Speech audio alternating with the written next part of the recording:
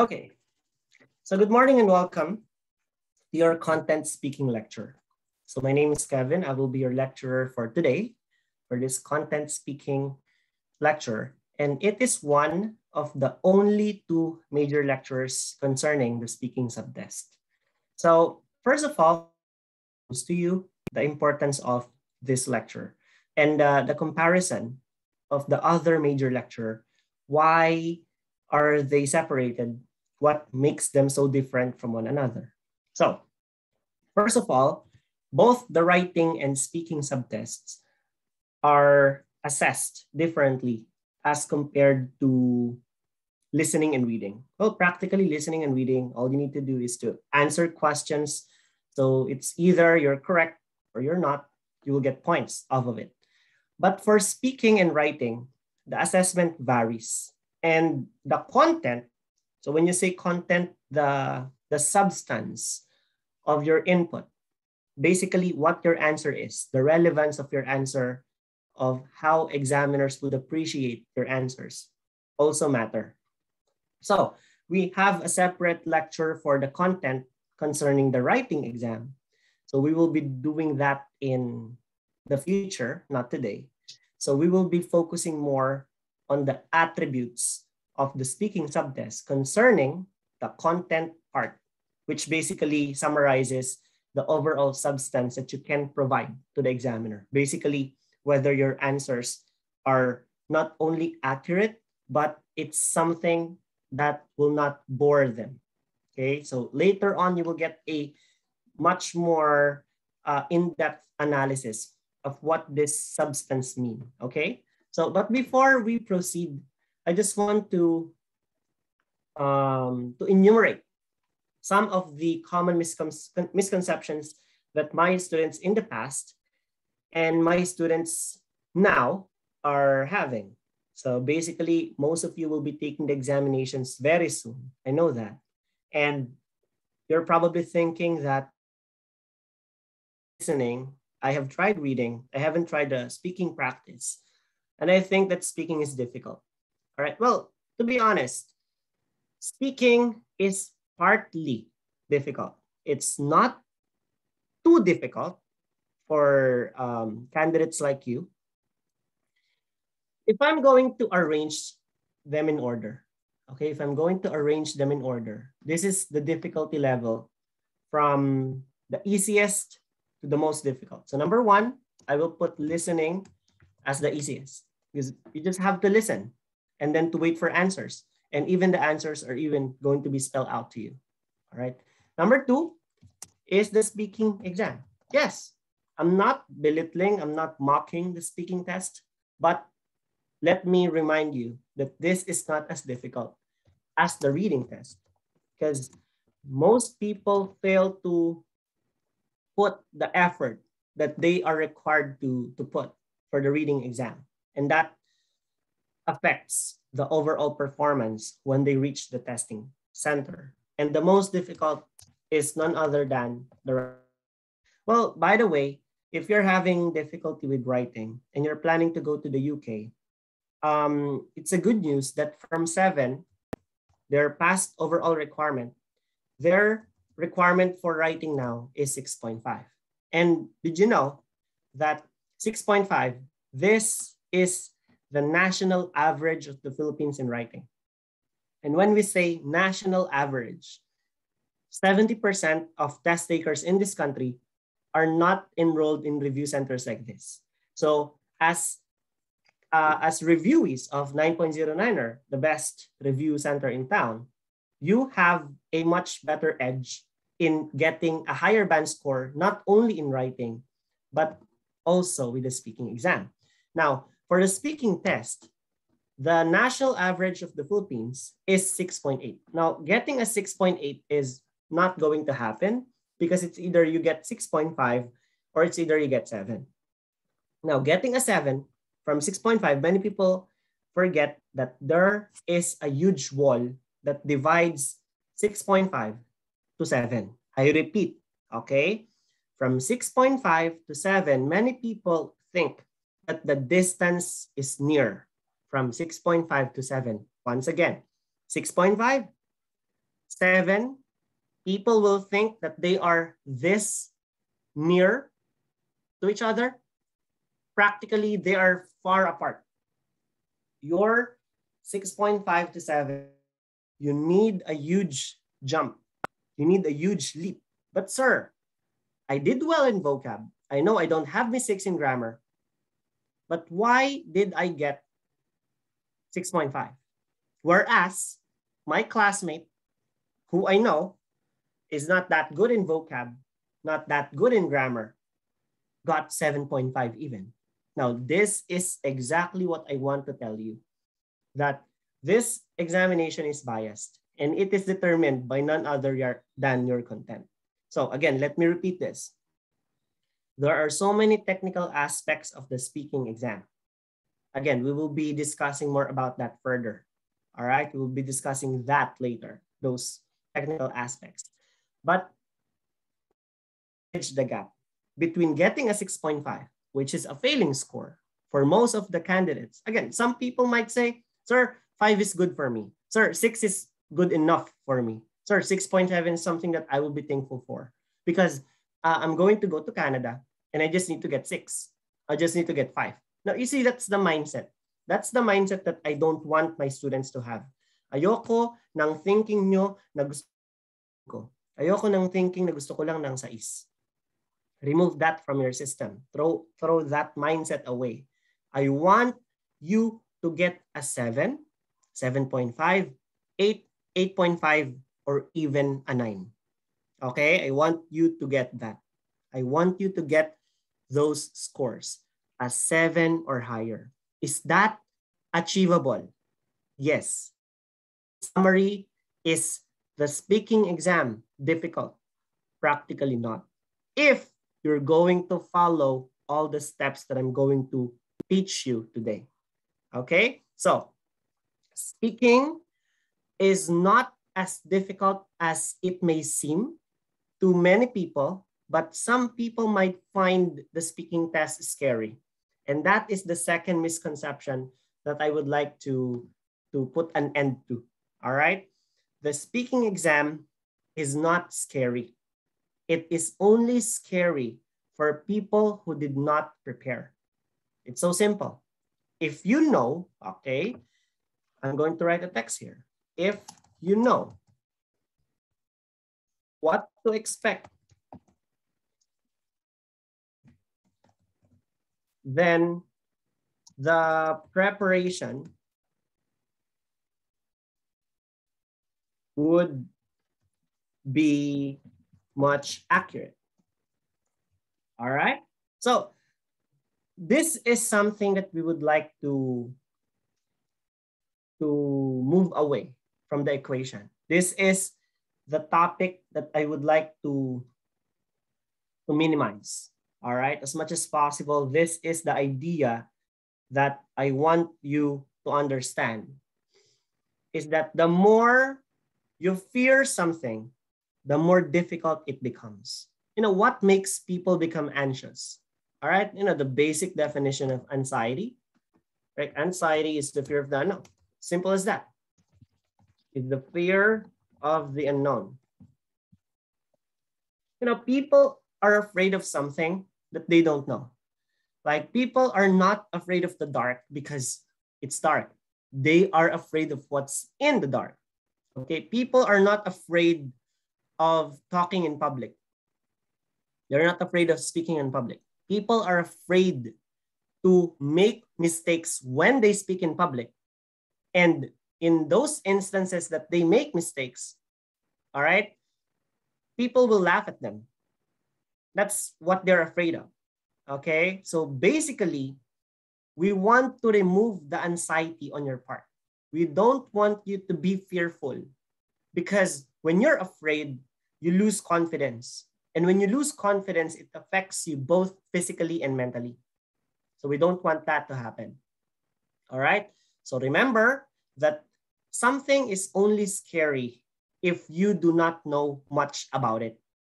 Nakakatakot ang isang bagay na hindi mo alam.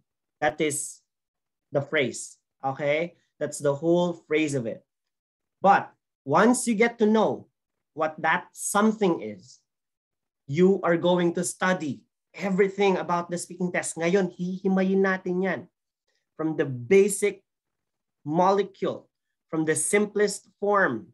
We will break down everything today of what the speaking subtest is so that you will understand, you will know what to expect, and you will be doing the preparations intended for you to do.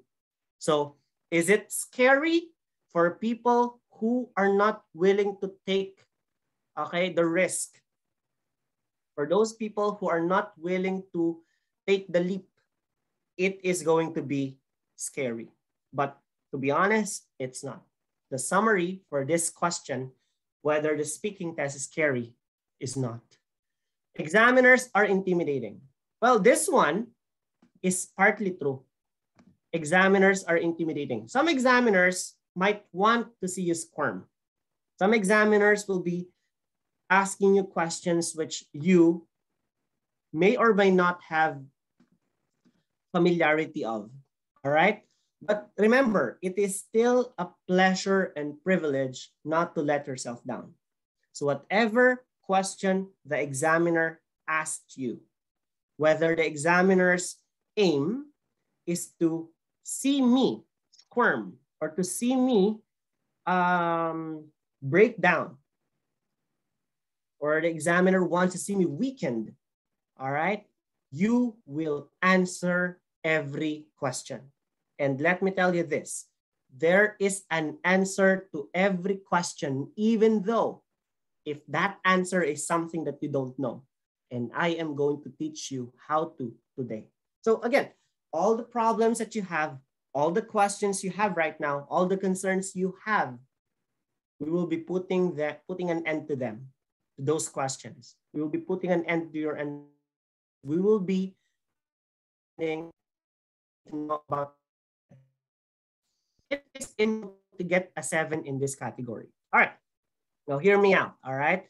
Getting a seven okay? Getting a seven in the speaking subtest is actually much easier than to get a seven in writing. Highlight getting a seven in is actually much easier than a in writing. So again, put the end mark on those questions that you have. Common misconceptions, the answers to them. Speaking is not difficult. It is not scary for those who will prepare. Examiners would try to intimidate you, but you will not show any um, any forms of fear okay, from this. And it is impossible to get seven? No, it is possible. It is actually much easier to get a seven in speaking than it is to get seven in writing. All right, so before I proceed with the next uh, discussion, do you guys have any questions? Jeffrey, Leslie, Princess, uh, Joe, Al, uh, Alvin, and Nina? Do you guys have questions or concerns? Anything at all? All right. You don't have any questions, so let me continue. Now, overview. You see, you have your classmates here during this lecture. And in our Facebook group, you see tons. You see all of your classmates.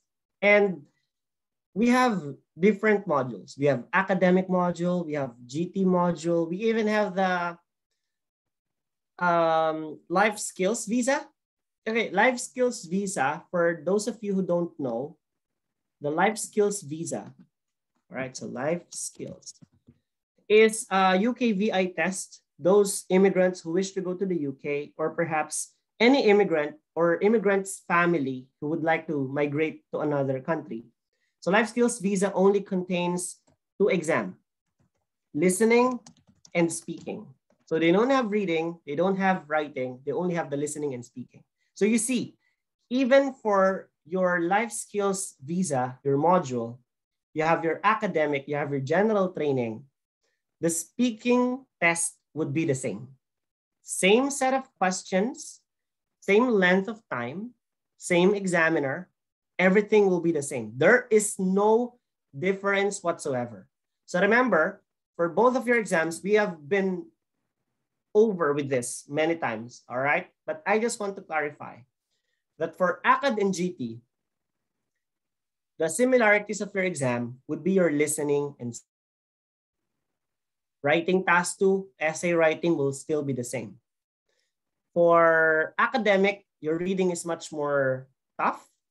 Your GT reading is easier. Your task one will be different. So the questions my students for academic and general training are going to be the same on the same day, on the same um, testing center. All right. So there's no difference. So if you're asking me, if you're going to ask me right now, sir, meron po bang difference? Wala. All right. Academic and general training modules, speaking test will be the same since the beginning of IELTS. And it's not going to change anytime soon. All right. It will still remain the same for many more years to come. So, objectives. What are the things that I want you to accomplish today? I want you to be able to organize a speech. I want you to be able to organize your answers in the IELTS speaking exam. To be able to come up with an effective answer to questions asked in the speaking subtest. That is also going to be one of our uh, goals. And lastly, how to be able to practice to become a better speaker. Okay, and in doing this, to be able to practice how to become a better speaker, there's no other there's no other option for that. There's no other way how to become better in terms of speaking exam but to practice. And for you to practice, you have to undergo my one-on-one coaching. But so just I just want to put a highlight because this is uh, the very early phase of my lecture. And most of the replay watchers would only be watching the early phase of my lectures. But in this one-on-one coaching, I just want to put an emphasis on this, all right? One-on-one coaching is a simulation. A simulation is basically something that we would like to emulate, we want to copy. We want basically the same thing that you would experience on the exam. Okay, that's the first.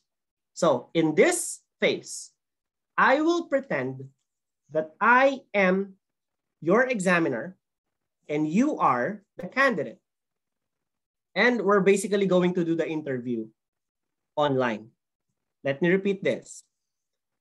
The one-on-one coaching for speaking is an interview which is conducted by none other than me because I'm your lecturer in this branch and I'm also your coach. You don't have any other choice, right?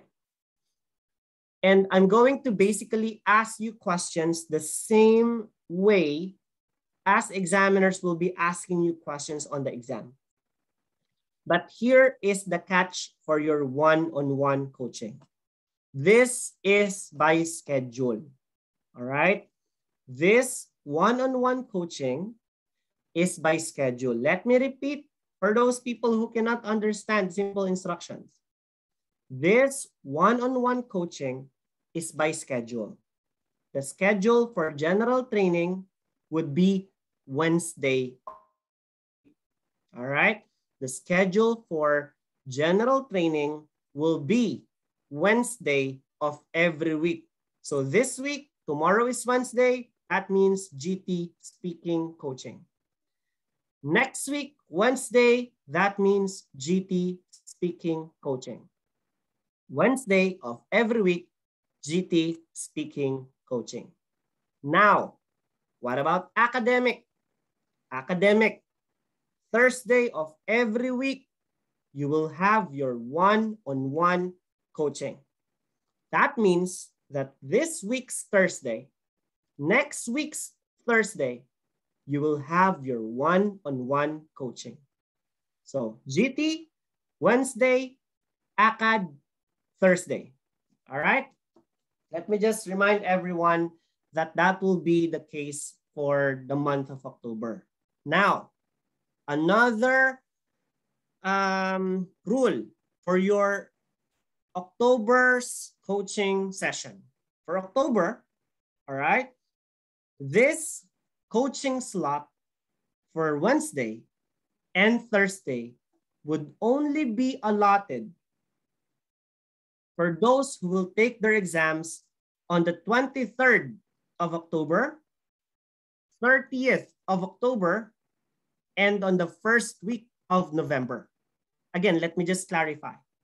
This one-on-one -on -one coaching slot is only given for those who will take their exam October and first week of November. So meaning, sir, I want to take my exams in December. That's a question. Sir, I want to take my exams in December. Does that mean I am not included in your coaching list this month? Yes, because I have more than 30 students for one coaching session. And that this month will be um, their month. They will be the priority. We have done this since July. July, for the months of July, the test takers of July, I um, I did this one-on-one coaching of the exams last week of July. All of them passed the exam. We did this in August. We did that back in September. And now we are going to do this for this batch in October. So for people who will be taking their exams on the second, third, fourth week of November, for the people who will be taking the examinations by the first, second week of December, because we don't have third and fourth week, uh, sorry, December, since that is basically, um, that's basically holiday break. So let me just clarify. All right. Later may nag-chat, mamaya ko yan i-check. All right. I just want to to highlight on this. To put a highlight on this. All right. The practice for this month is only for October and November first week.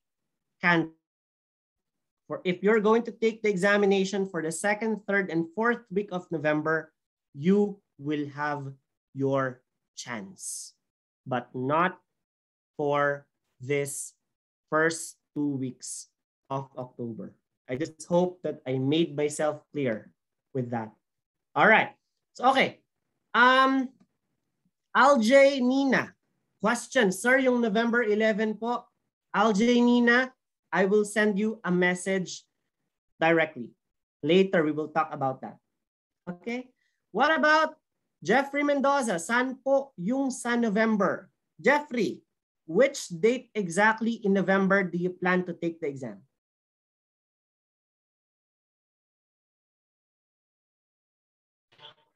Sir, saan po ba ang venue niya? Oh. Sir, basically, um, what you're going to do is to do a simple Google search. So you will just type in the keyword IELTS exam November or if you want, Sir Jeffrey, we can send the list to you. Flower, the assistant will be the one to send you the complete list of when and where the exams will be held in the Philippines. So for those of you who don't know, okay, we have a monthly examination in Pampanga. And the monthly examination in Pampanga happens um, in different locations. Sometimes it's in Holy Angel University, sometimes in a hotel. So we will know when we book the test. That's the only time that we will know. All right. In Cabanatuan City, we only have four times a year. So we have the February, you have the May, you have the July, August for IDP British Council, and then you have the December. But this month, they will be hosting one in October. I don't know if they will be hosting one again in December.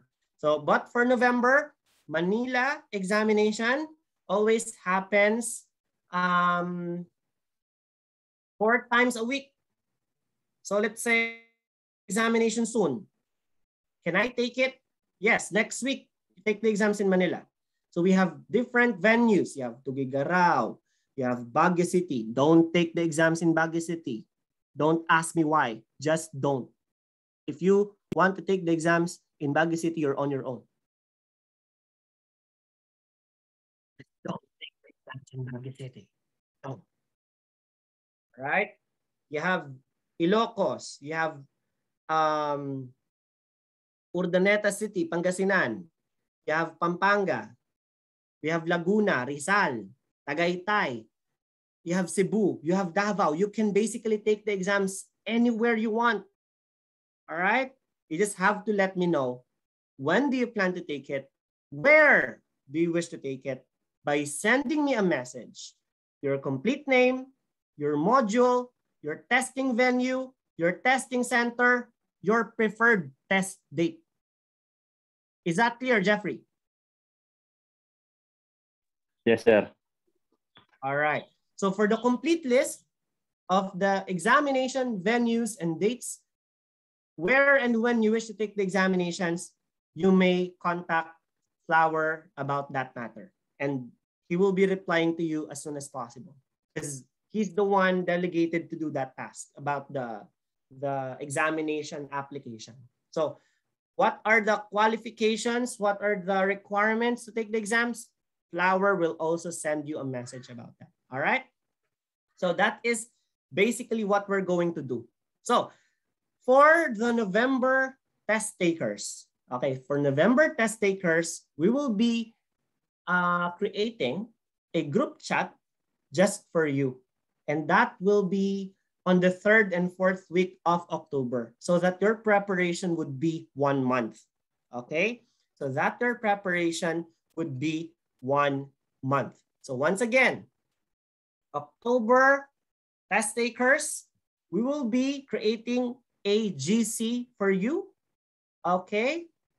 Starting later this afternoon, I'm just waiting for the people to send me a message. I made announcements but some of you just don't follow those announcements anymore. So I'm I'm shouting out to those people who still don't know what to do. That is basically what will happen. We will be doing a, a GC, and that's where I'm going to post your own personal schedule. All right. I will be calling you via Messenger. What's the reason why Messenger is our preferred? Why Messenger is our preferred application? Because Messenger has a feature of unsending a message. And you will later know why this feature of unsending a message is important to our practice. Okay? So, any questions with our objectives before we continue? Anyone?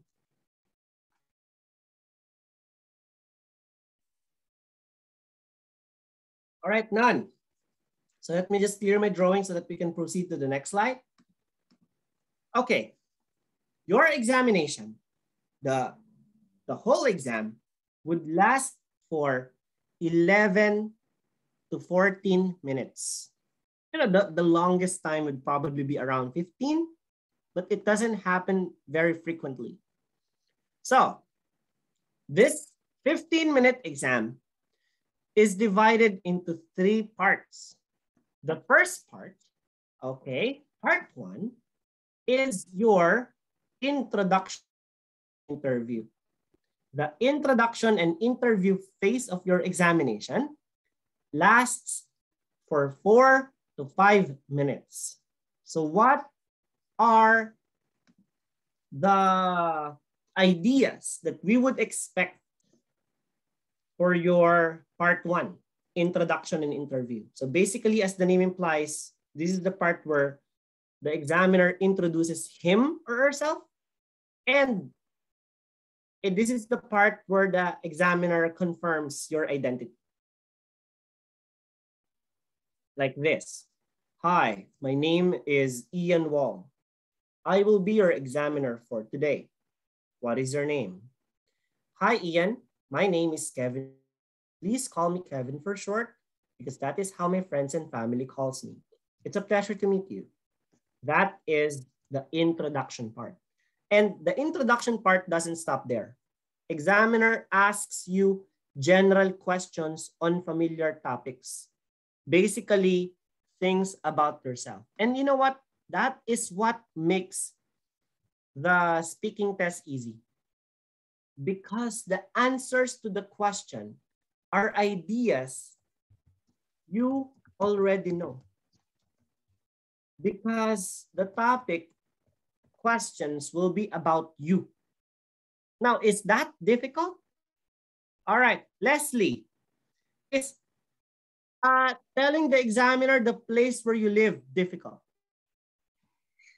No po, sir. No. What about you, Princess? Is telling the examiner uh, the place, the university you graduate from, is that difficult? No po. No. All right. I just want everyone's vote to be counted here. Jocelyn, does telling the examiner your favorite restaurant, is that difficult? No, sir. Christian J. Carion, does answering the question whether you have a pet or not difficult? Definitely no, sir. Yes. So you see, in, in part one, it summarizes the difficulty level already. All throughout the speaking test, this is going to be about you. So there's no uh, problem, right? That is where most people fail. Kasi sasabihin nila, di naman sir madali eh. Di naman sir mahirap eh. Nasabihin sa examiner yung favorite restaurant ko eh. Pag tinanong kita ngayon, what's your favorite restaurant? Sagot mo, uh, uh, uh. Patay na. Di ba? So, in preparation for the speaking test, you have to make yourself familiar with the basic questions asked in the IELTS, particularly related to part one. So anything about you, all right? So what are the things about you? Let me write a list here, all right? Your likes, dislikes, your interests, favorites, past experiences,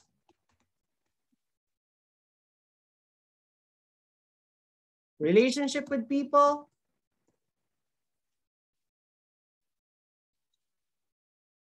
personal preference, whether you would like to watch television or you want to go out and have fun. So which do you prefer, watching TV or spending time outdoors? So you have to not only answer, but to explain to the examiner why. So there's always a reason to your answer. So that's what makes this part a bit difficult. All right. So all the parts of your questions in the introduction and interview phase would be about you. So, and you're very lucky. You know why? All right. You know why you're lucky? Um, LJ Nina, do you know why you're lucky?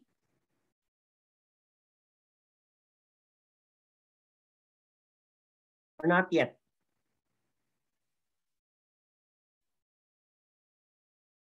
All right, so let me tell you why you guys are lucky.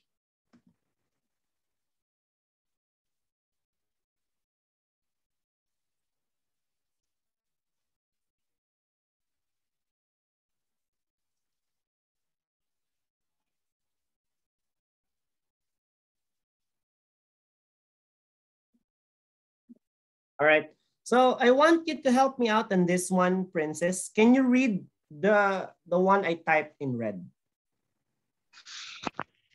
We have a list of all the questions you may encounter on the test. Exactly.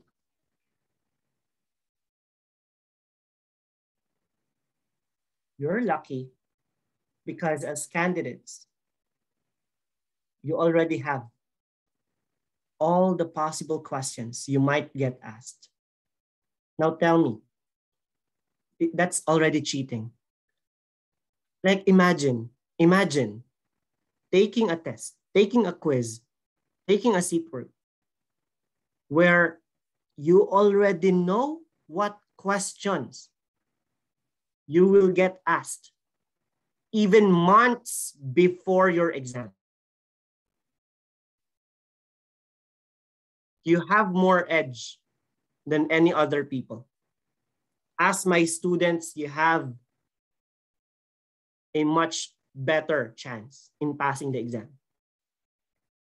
My wish is that all of you, please, just do your part. I already have all the list of the questions.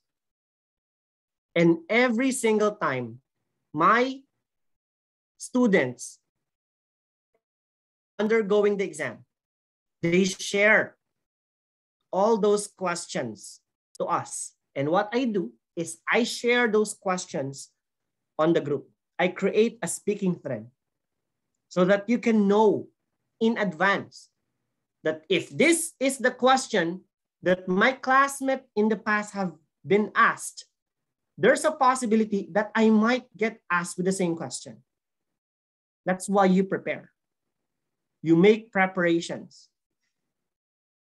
So you were asked, what is your favorite restaurant? Have an answer by now. The examiner will ask you, what is your favorite color? Hindi ka na mag-iisip sa mismong exam. May sagot ka na dapat. Leslie, you raise your hand. Do you have a question? Sir, um, are those questions the same even you will take it overseas? Yes. I have students who took the examinations in Australia. You're in Australia, Leslie, right? No po, I'm in Saudi Arabia po. Oh, you're, you're in Saudi. Okay, I thought you're in Australia. Well, you see, um, I just want to share that there were students of mine who enrolled at Niner and they wish to continue their review in Saudi Arabia, in Qatar, in the Middle East. So my three passers, which I haven't shared on my Facebook yet, tatlo yun, nasa Middle East silang tatlo. They have just done the examinations last week. So their examinations questions were already posted on the group and you will be watching, you will be seeing those questions soon, Leslie, after a week. Okay? So Leslie, let me tell you this. The question that my students here in the Philippines are getting asked with are the same questions that you might get asked in Saudi. The same questions that my students in China were asked. My student ako in Japan, my student ako in Australia, New Zealand, may student ako in Argentina. May student ako in Germany. The same questions. All right. Did I answer your question, Leslie? Yes po, sir. Thank you po. All right. Anyone who has a question before I continue on the next part? All right. So again, what's important here is to establish rapport and connection. I bet there are many nurses that are present here today. All right. And you know how to establish rapport and connection. Um, let me ask a question. Uh, Princess, what course did you take when you were still in college? Nursing, sir. Nurse, all right. Hindi ako nagkamali. All right, so Princess, ikaw nang tatanungin ko. How do we establish a foreign connection as nurses?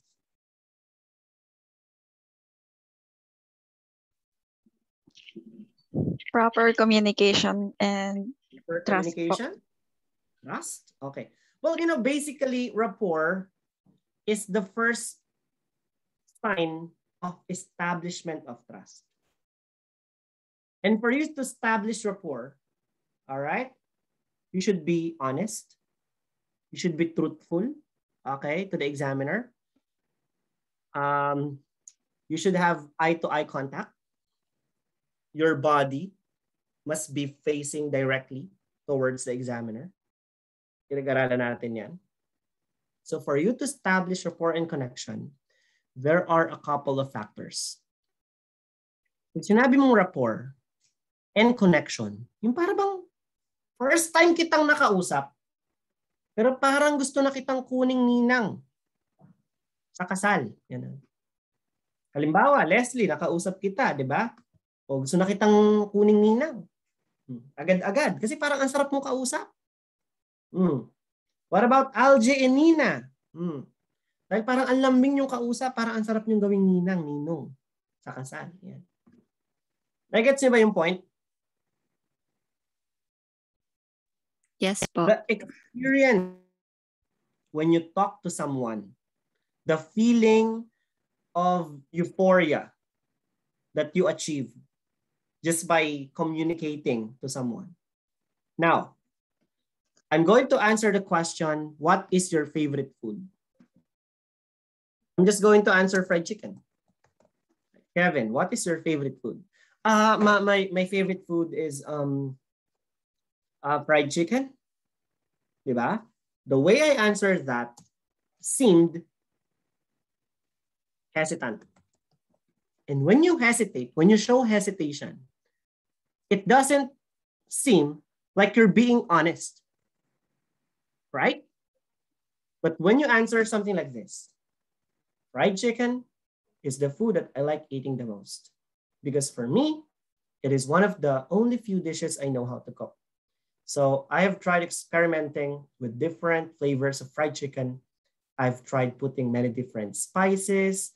I've tried rosemary one time. It was actually very flavorful. So even though some people might call it bland and boring, fried chicken being my favorite food, it's actually very awesome because this is the food that I always see myself returning to over and over again. That way, the way I answer on the second attempt is much better because you know I am establishing a connection. I'm trying to communicate. I'm trying to connect I, I am establishing eye contact. I'm using hand gestures. I am using my um, body language. I'm nodding my head. I am facing the examiner. Do you get the point? Jeffrey, can you tell me whether are like that?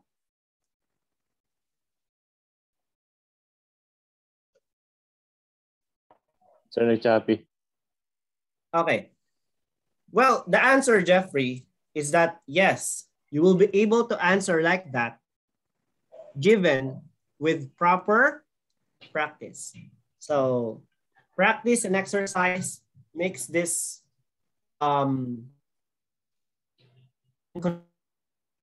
much better in the future.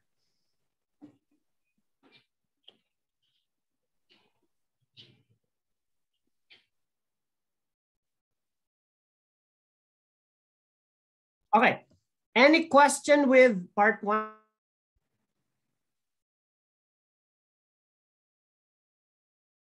Anyone?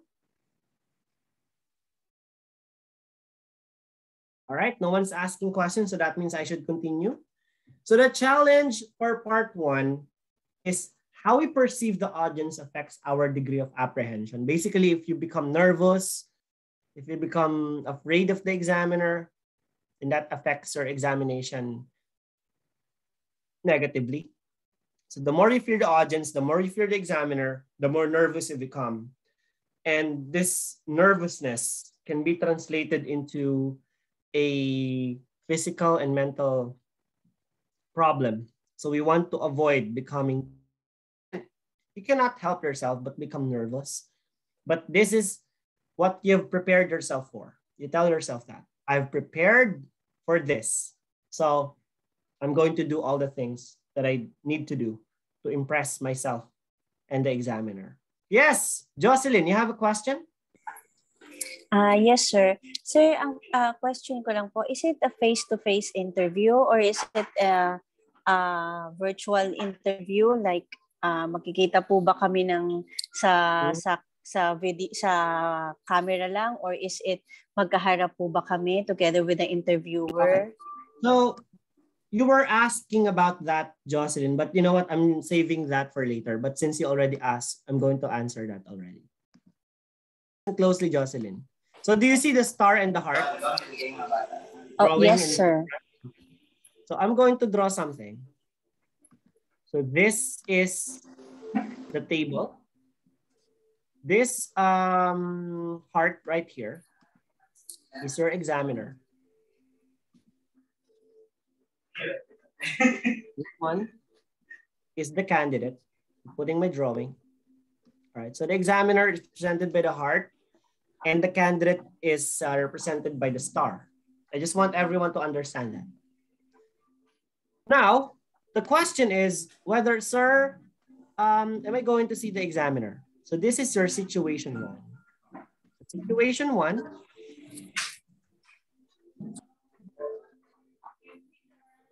Situation one is where you will enter a room and the examiner is already. Hello. Okay? That's your situation one. Now, the red square right here represents the table between you and the examiner. And this purple line right here is your acrylic glass that separates you from the examiner. Okay, this is your acrylic glass.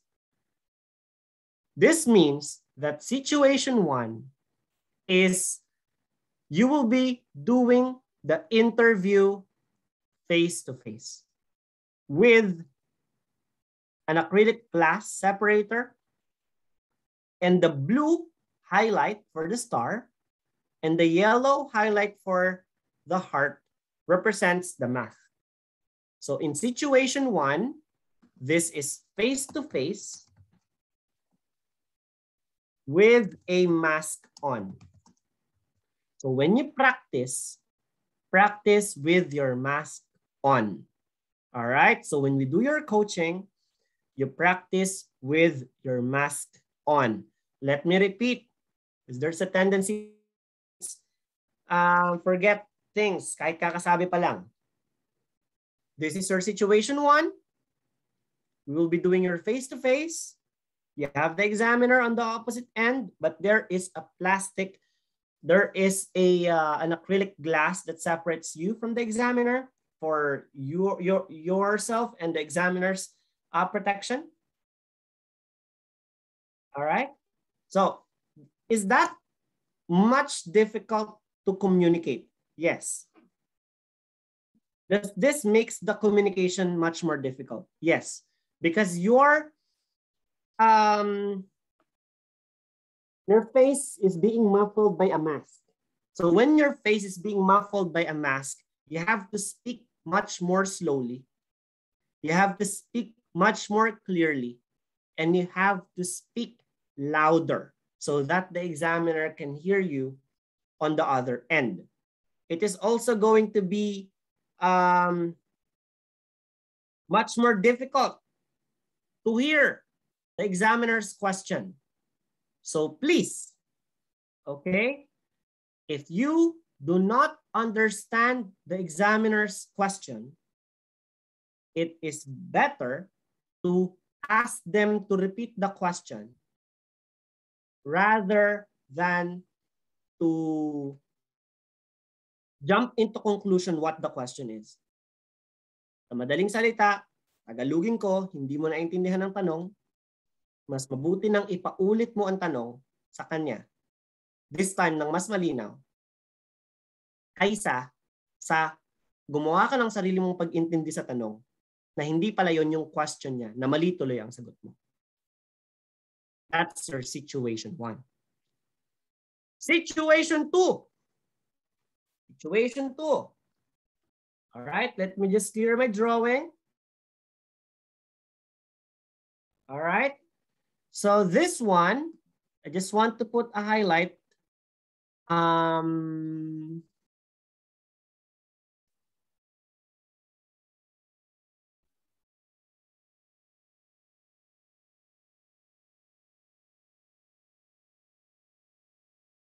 Okay. So this uh, purple square represents uh, the place where the examination is being held. So let's say you are in uh, Pampanga. Yeah. Whereas this one is in Manila. So you took the exams in Pampanga. There is a laptop in front of you that connects to the examiner.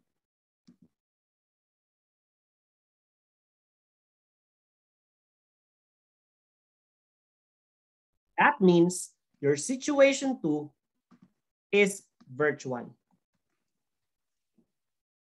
Now, if you're asking me, is there a way where we can determine what type of exam am I going to experience? Is it going to be virtual? Is it going to be uh, face-to-face? Or is it going to be, um, no, we only have two. Is it going to be virtual? Is it going to be face-to-face? The answer is no. We cannot determine whether your exam would be virtual or face-to-face. The only way we can know is when we get there. That's the problem. Okay?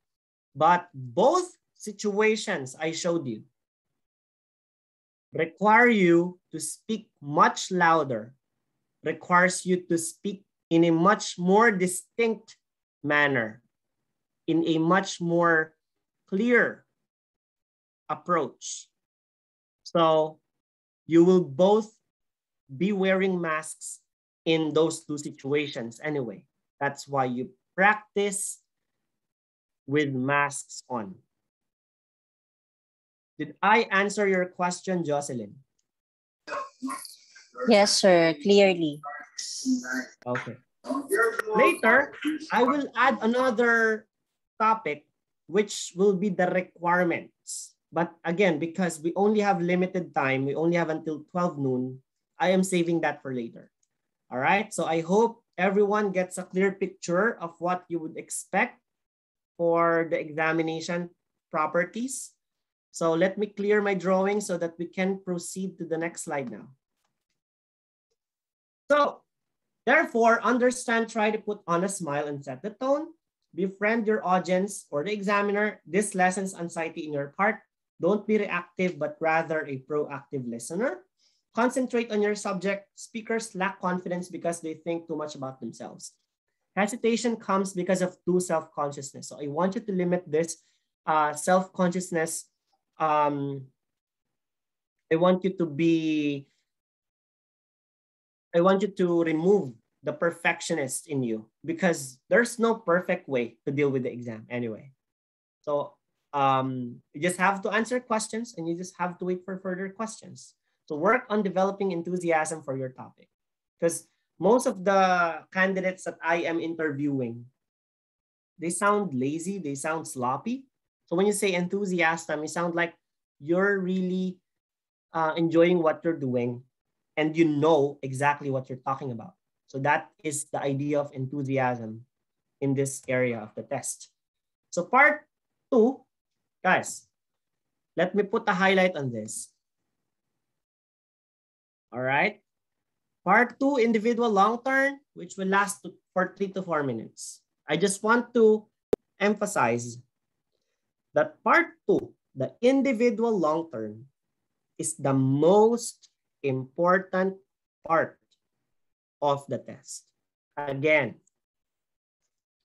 part two is the most important part of the test. It's not part one, it's not part three. Part one is when you leave an impression. Part three is when you make a final push. But part two, most important. So let me just put things into perspective. All right. If you get, okay, a high score in part one and part three. I just want to write here part one and this one part three. Like, sir, this is, uh, I think, a nine performance. All right, part two. But your part only got uh, a very decent score, very decent amount of points. You think you will still fail. You will still fail the test. You will not get seven. You will get six or even lower. Again, your part one was perfect. Your part three was perfect, but your part two isn't. You still don't make it. Now, let's make your part one average. I'm not saying that it's you, you made the tons of errors. Let's make your part one average. All right. So your part one was average. So I will represent it using uh, this one. And then your part three was decent, but your part two was really impressive. Then this is a candidate that is bound to get a seven or even higher. Let me repeat myself here. Part two is the most important part of the test. Not part one, not part three. So you want to try and make part two as perfect as possible. Yes, I've mentioned I want you to remove the perfectionist in you. One, that's okay. In part three, yes, that's okay. But in part two, it has to be perfect. Part two is where we put all our focus on. So what happens in part two anyway? Well, in part two, the examiner gives you a task card that asks you to talk about a particular topic, a topic that is relevant to you, in which include points that you can cover in your talk. This one, these points right here, determines whether you pass. We call them the bullet points. All right, you will see later what are those bullet points. What do I mean by them? So bullet points. All right. So it is essential that you answer all the bullet points because if you miss or misinterpret one bullet point, you fail. Simple as that. You want part two to be the most perfect part of your test in speaking. So, sir, nakakatakot naman po yan. No, it's not. The topics here are about you anyway. And you are given one minute to prepare. What more can you ask for? The speaking test is giving you all the time you need already. All right, you just have to use them intelligently. So one minute to prepare. You need the two minutes on the topic. The examiner asks you one or two further questions on the same topic. Later, I'm going to tell you exactly what to expect in part two and how you can answer some. All right, I'm just letting you see what are the goals that we need to establish. But let me just clarify. Part two is the most important thing. Part three is a two-way discussion. This is the final push that I've mentioned a while ago. Um, this is a part where you discuss more general issues and ideas. Sometimes there's irrelevant to you, but most importantly, examiners are trying to get your opinions about things. So these are basically continuations of part two. So if your topic in part two let's say is about a TV show, is about a TV show you like watching. So there's a probability that part three is about the opinions related to, to part two, which in this case is TV. So examiners will ask you about the difference of TV shows when you were young as compared to the TV programs now. Okay um, what is the advantage of watching TV? What is the disadvantage of watching TV to young people? Why do you think young people and old people watch different type of shows? So that is what you expect in part 3. So again, kaya ba nating ma-determine ano yung magiging tanong nila sa part 3? Yes. So even though part 3, it can be easier because you will be uh, able to determine ahead of time what questions examiners in part, uh, uh, what questions examiners will ask you in part three. Well, again, you can determine what questions examiners will ask you in part three because those are basically the questions they have already asked you in part two. But it doesn't always happen because part three is impromptu. Part three is off the cuff.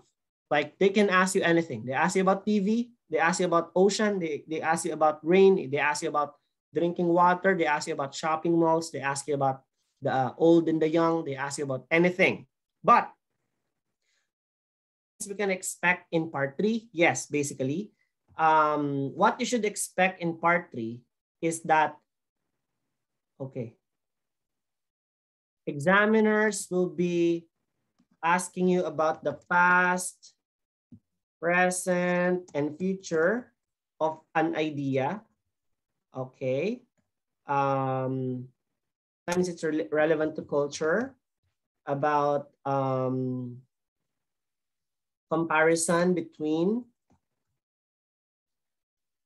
male and female. They will ask you, who do you think is more fashion conscious, male or female? And you have to reason to them why you chose male and why you chose female, if either is your answer, okay? Um, comparison of young and the old. Uh, what else? Advantage and disadvantage.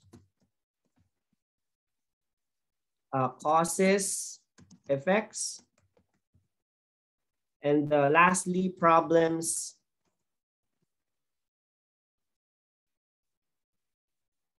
solutions. So those are basically the areas that examiners would explore. So for example, the topic was about shopping. Who do you think shops more, men or women? Why do you think young and old people uh, shops have shop uh, have different shopping habits? Or what do you think are the causes of air pollution? What do you think are the solutions to air pollution? So they will ask you those questions. It doesn't necessarily have to be correct, but there is a requirement that your answer is accurate. So you show to the examiner that you have at least basic ideas about general topics around you. So that's exactly what you get uh, from task three. So criteria, how will the examiner assess your performance? Depends on the four areas of the language. You have the fluency and cohesion, grammatical range and accuracy, lexical resource, and pronunciation. So what is fluency and content anyway? How the examiner assess you here? Well, the person first, the examiner first asks um, whether as a person, you can handle yourself professionally. So when you handle yourself professionally, it means that you are wearing smart casual attire, all right?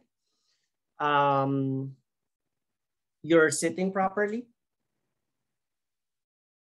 Your body is towards the examiner. Your face is towards the examiner. You know, does it look professional if you're talking to someone like this? Does it look professional if you're talking to someone like that? Is it professional if you're talking to someone like that? Of course not. So you have to sit properly. All right. What else? Your appearance. Come on. Like your hair is on your face. How can you talk like like that with the appearance like that. I'm not saying that you should be good looking because basically we're all the same since your face, half of your face will be covered. All right. So if um, you are showing some changes in facial expressions, like you're moving your eyebrows, that's also one of the things that I want you to practice. You're moving your head in agreement to the examiner. Another point is whether as a person, as a candidate, you can relate to different types of conversation.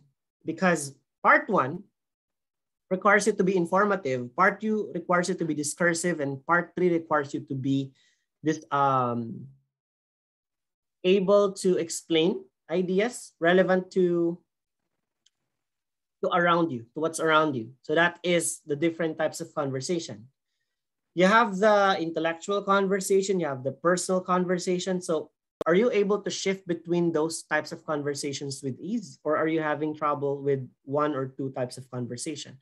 So does this person group for terms using fillers like, um, you know, all right, so what is your favorite restaurant?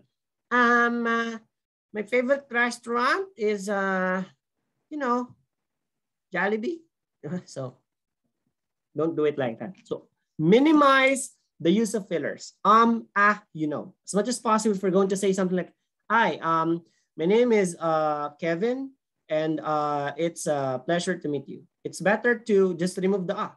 Hi, my name is Kevin, and it's a pleasure to meet you. That's it. All right. So if you can do that, that is much better.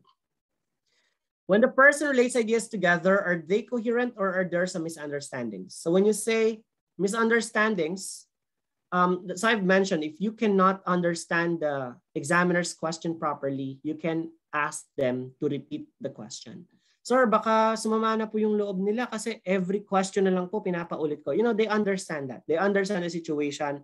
Like you're both wearing masks. You have a plastic separator between you. You guys are uh, communicating through a laptop. So they understand that misunderstandings, uh, the buzzy part of the communication could occur So meron akong student sa Middle East din ito.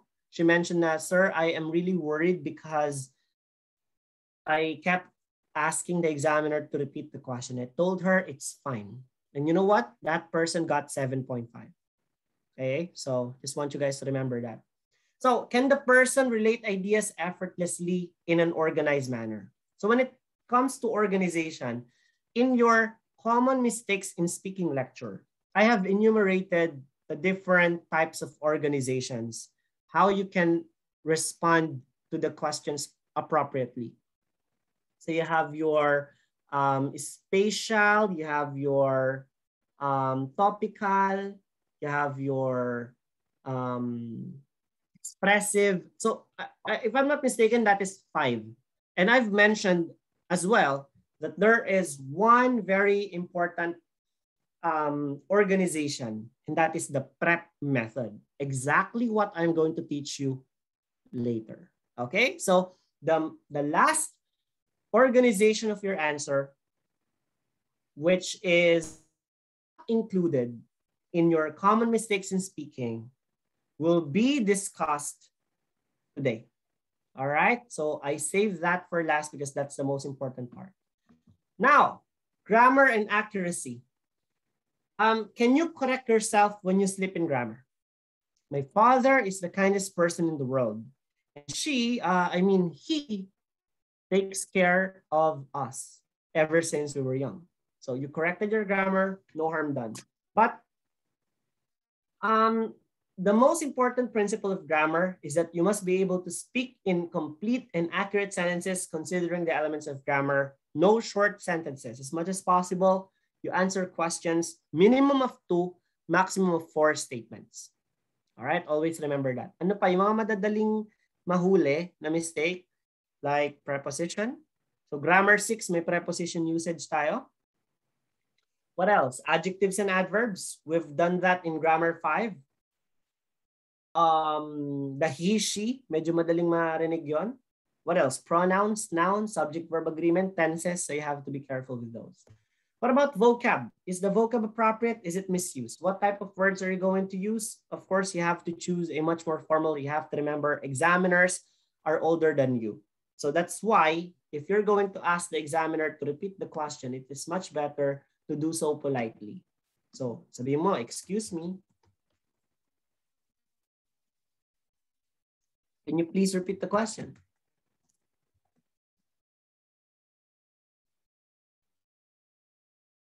That's it. That's the most polite way of asking the examiner to repeat the question. Actually, there's a lot of ways because I don't want you to, to have the same phrase. You can say, uh, can you please repeat the question? I wasn't able to hear it. Thank you so much. Diba? So you have your own version. Uh, would you mind repeating the question again? Because I wasn't able to hear it properly um, previously. Pero wag na wag gagamit ng come again. O kaya ha? Ha? Gamit na. Excuse me? Excuse me? What else? Um, pardon? Because pardon is incomplete. Pardon is actually short for I beg your pardon. And this is used in a very formal context.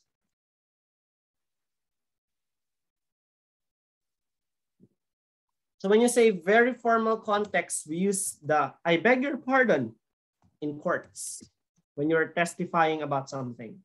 So those are the list of phrases that you do not want to use. All right, let me put an X mark here.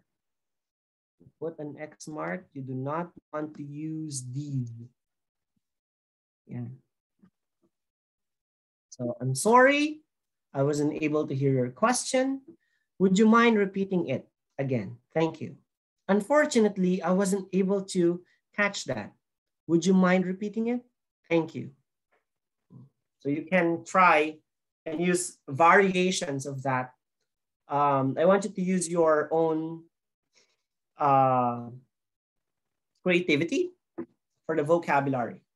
So does this person have the ability to adjust his or her vocab according to the person she's talking to? does this person use Philippine English and does this person have the tendency to translate Filipino into English? Because literally, when you translate the sentence word for word, the context is different. So you always have to remember what you're trying to discuss is the meaning. What you're trying to discuss is the context, is the idea. So are you transferring a total idea or are you discussing just a translated version? from a Filipino sentence into English. So you're going to have a tough time if you do so. The vocabulary and lexical resource. What else? Pronunciation. You know what? Vocab, grammar, throw them away. It's not that important. You know what's important? This one. Pronunciation and delivery. Does the pronunciation of the person hinder effective communication. All right. I just want to share with you. I just want to share with you. I had a student last year with a cleft palate. And he mentioned that, sir, is the reason why you only gave me a five for our practice is because I have this disability. I told that person no. I'm a very harsh coach. I only give five or four if you deserve it. The reason why I gave you a failing score is due to the fact that you were not able to respond to questions properly. You did not deliver your answers correctly. I'm not saying that your answer is incorrect. I'm saying that the delivery is just not um, done properly. That person, let me repeat that. That person has a cleft palate. And you know what score that person got when he took the examination last year? 6.5. 6.5. Now tell me, do you have an excuse? Any single one of you, all of you have normal facial structures. That person has a cleft palate for crying out loud but that person still managed to get 6.5, you don't have an excuse of getting lower than 6.5. You do not have an excuse. You don't tell me you can't do it. You don't tell me that. That person transcended through difficulties, but he still managed to get 6.5 because he wanted it so bad. You don't tell me you can't do that. You guys have much better facial structures than that person. But that person got 6.5. All right? So it's all in the pronunciation. It's all in the pronunciation. If the pronunciation hinders the effective communication, that's going to be a problem. So you have to speak much more slowly so that you can make your pronunciations clearly. Distinct enunciation. You do not do shortcuts. You access every syllable. You enunciate them. You articulate the words. No shortcuts, no slangs. Speak. Pronounce.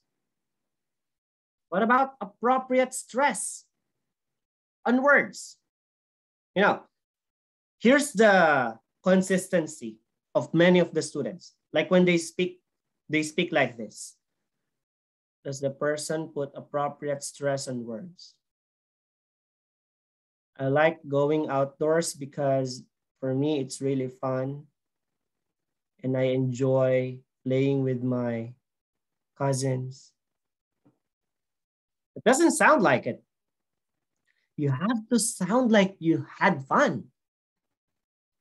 I really like spending out time outdoors because it's more fun to spend time playing with my cousins than to spend time lounging on the couch watching TV. Well, I watch TV often, but if I have chances, I would definitely spend my time outdoors than indoors. There should be an intonation variation. So if you're going to say, Hi, my name is Kevin Mangulabnan. Please call me Kevin for short because that is what my friends and family calls me. That is flat dull, boring, dry. So what you must do is to add variations in the tone.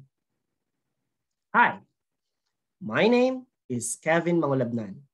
Please call me Kevin for short because that is what my friends and family calls me.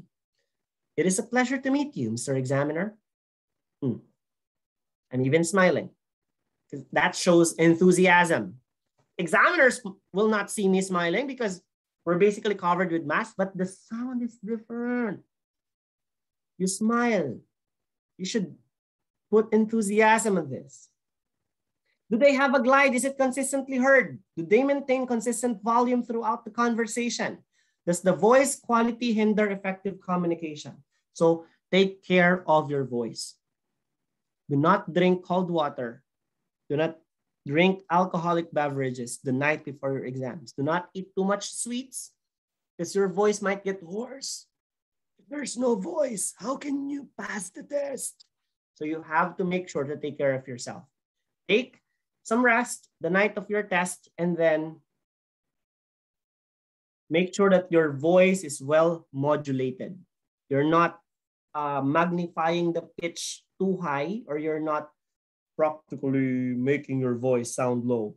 So make it sound as natural as possible through the proper voice modulation.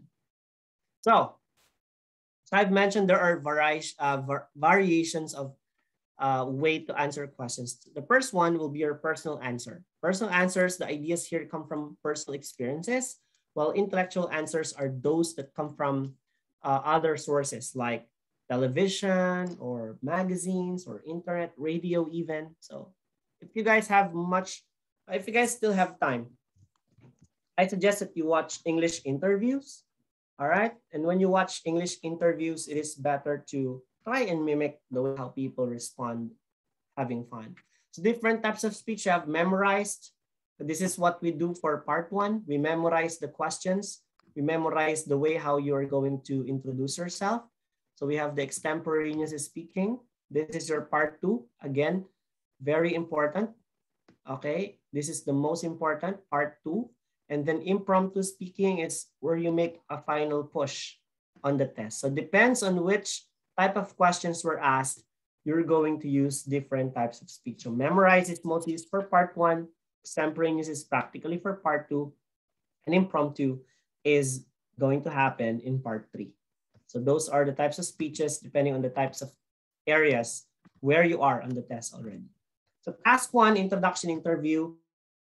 Personal questions occur here about your name, nickname. Do not spell out, just give your name and wait for further questions. Be confident. Examiners also ask facts about you, like your age, civil status, birthday, family, hometown. So hometown is different from your place of birth. Remember that, all right? So all the questions in part one will revolve into the following.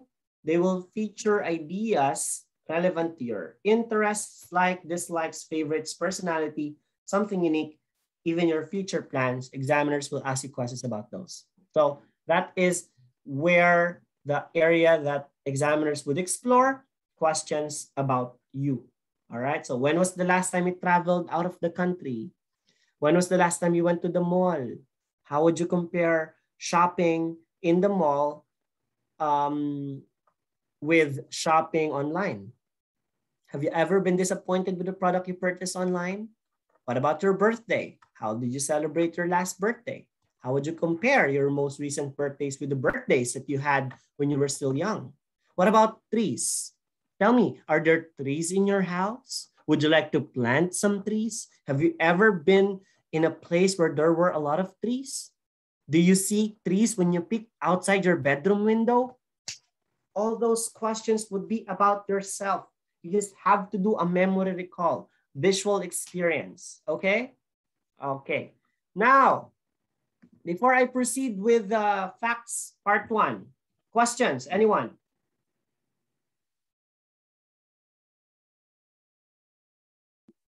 Okay, no one's raising their hands. No one's unmuting themselves. So let me continue. Describe your hometown. Examiners will be describe your hometown. Or they can ask you, do you live in a house or in an apartment?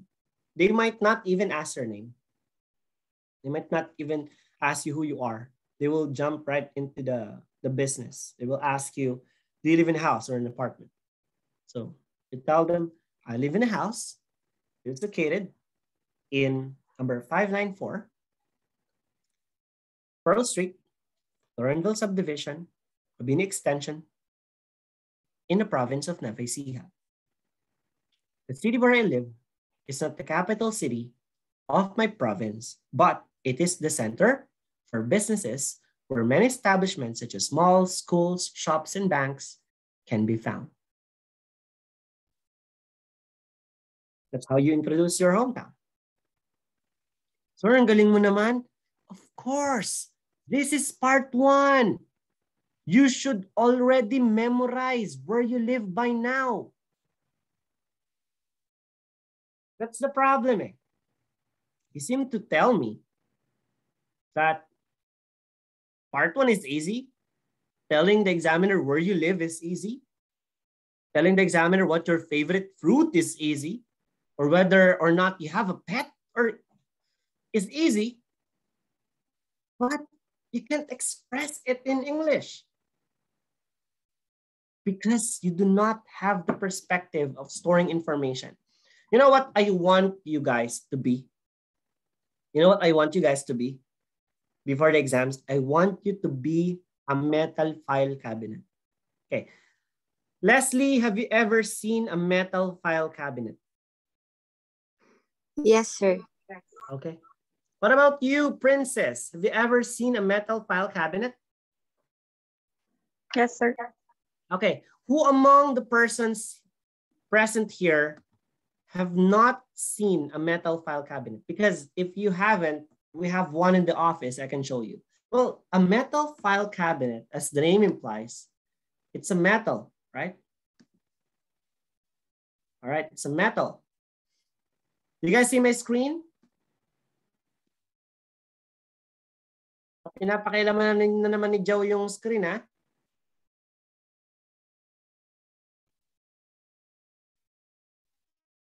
All right. So this is it an example. I'm just going to draw something here. So this one, you know what? When you open the metal file cabinet, you see a lot of folders, right? Okay. And when you see folders, they are sorted. Letter A, B, C, D until letter Z. So whatever idea you need to have, all you need to do is to pull the drawer, to sort, to search for the file that you need, to get it, to open it and read it. That is what I want your brains to be on the exam. Favorite TV show? Hmm. This is my favorite TV show. Tell it. Favorite restaurant? Here's my favorite restaurant. Tell it. Hindi yung mismong exam, tsaka mo iisipin ano yung favorite restaurant mo. Ano yung favorite color mo. So in part one, you have to know who you are. You have to dig in who you are as a person. You have to learn what are your likes, dislikes. I mean, my five-year-old niece knows how to tell her hometown in the manner which I did in English. But most of the students cannot. You don't have an excuse you already know that question can be asked. So when I ask you tomorrow, GT, when I ask you the following day, ACAD, I don't want any cuts. I don't want any delays. I don't want any hesitations in those basic common questions.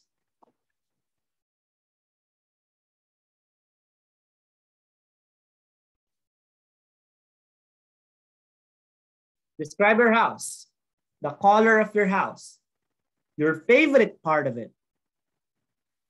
All right. Uh, a part of the house, which color you would like to change in the future. Furniture. Do you own a lot of furniture? Have you ever received the furniture as a present? Have you ever given someone a furniture? Profession. Okay. So same goes with do you live in a house or in an apartment? Another common question is um, are you working or are you studying? So let me ask you, uh, Leslie. Leslie, Yes, sir. I'm in. How long have you been working in the Middle East? I'm working in the Middle East for over 12 years. Um, usually three years in the private hospital and the next succeeding nine years, I was assigned in a government facility. So you worked for all those 12 years as a nurse? Yes, sir. I do work as a nurse for that um, years, but I have different responsibilities. Okay. So what was the name of the, the establishment that you're working for? What's, what's the name of the hospital? At the moment, I'm working in the Prince Sultan Military Medical City. It's a Prince Sultan, 2,000 bed capacity, and I was assigned in family and medicine area in which most of our patients are militaries and their dependents. All right. So Leslie, those are the ideas that I want to hear exactly when I ask you. Are you working? You answer by saying, I am currently employed as a nurse at Prince Sultan Military Hospital for 12 years now. And I could say that I have enjoyed working for 12 years because I enjoy seeing people become healthy. That is my passion to help people. That's it. You don't say, I am working. Are you working? Are you studying? I'm working. But where are you working? What is your job? Where do you work? How long have you been working? It has to be complete. What about, sir? I'm studying.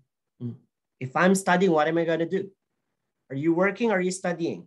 I am currently enrolled at St. Louis University, uh, College of Medicine, I'm taking this course for three years now.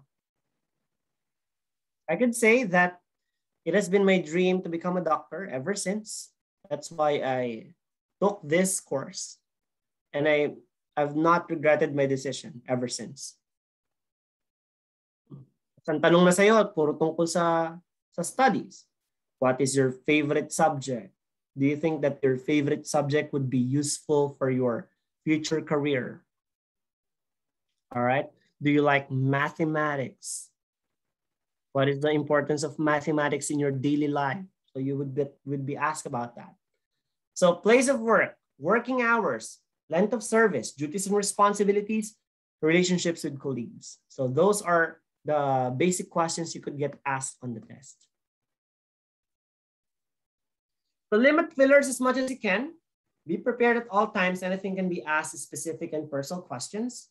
Be proactive. If question is not clear, ask to clarify. Directly answer question first, then give out the reason because for the reason that, uh, example, do you like eating fruit? Yes, I love eating fruit for the reason that they are very tasty and they are good for the body. For example, I eat banana or two every day because I think that it's good for my body. Because, do you like watching TV? Yes, I like watching TV because I find it an entertaining activity. So you use the words because, you use the words for the reason that to answer questions. Avoid repeating the words used in the examiner's question. So you see what I did? When I asked Leslie, are you working, are you studying? I mentioned, I am currently employed. Or when I said, I am, uh, are you working or are you studying? I'm currently enrolled at. I didn't say I am studying, I am working. Because that's basically parroting the examiner. And when you say parroting the examiner, you know, they will be having a, a bad time if you just repeating, if you're just repeating the questions they already gave. So you have to come up with your own. All right. So Kevin, tell me about your favorite restaurant. The restaurant that I like eating at the most is, all right. Which do you prefer? Shopping online or shopping in, well, because of the pandemic, I favor shopping online much more as compared to shopping in the mall to minimize my interaction with other people. And so far, it has been very enjoyable. I have gained a lot of points that I can use in my future shopping experience. That's it. That's how you use it. That's how you do it. All right. So um, complete the following. What are you good at? What do you enjoy? What are you known for? So, so that you can have a basic idea of who you are as a person. So let us probably um, skip those parts. Let's talk about the most important thing, task two, the individual long turn. Okay. In the individual long turn, the examiner will give you a task card. And the task card contains the main question. Again, it contains two important parts, the main question and the guide points. We call these uh, guide points the bullet points. All right, bullet points. You'll be given a pencil and a paper. And during our coaching session, uh, you'll be the one to provide yourself a pencil and a paper. Okay. You have one minute to organize your ideas. Only one minute. So I want you to use it wisely. In this test, you will talk uninterruptedly for two minutes, meaning the examiner will not interfere with you during this two minute time. Start when the examiner told you to start and stop when you're told to do so.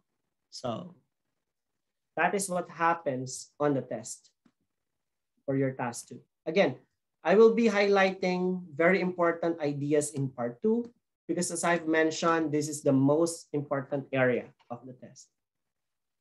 Do not limit answers on the guide points. You may expound further, but do not fall out of topic. Do not be preoccupied with the time.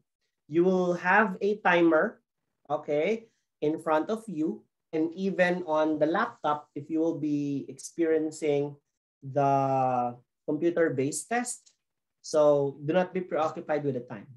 Yes, uh, Leslie, raise your hand. Sir, do you have techniques on how to organize the ideas? Yes, later I will teach you. So avoid controversial topics and apply the music of English here in part two.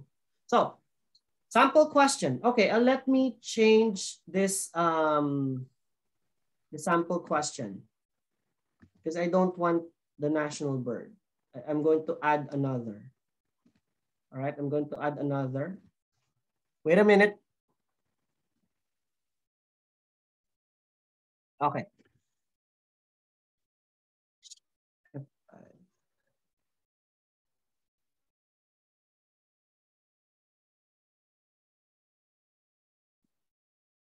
All right, I just want to ask whether you guys can see my screen now. Yes, sir. Yes, sir. All right. So I just want to share with you a sample question. I'm going to type it here. Um, talk about favorite food. And then I have the first bullet point. That bullet point is um, what is this food?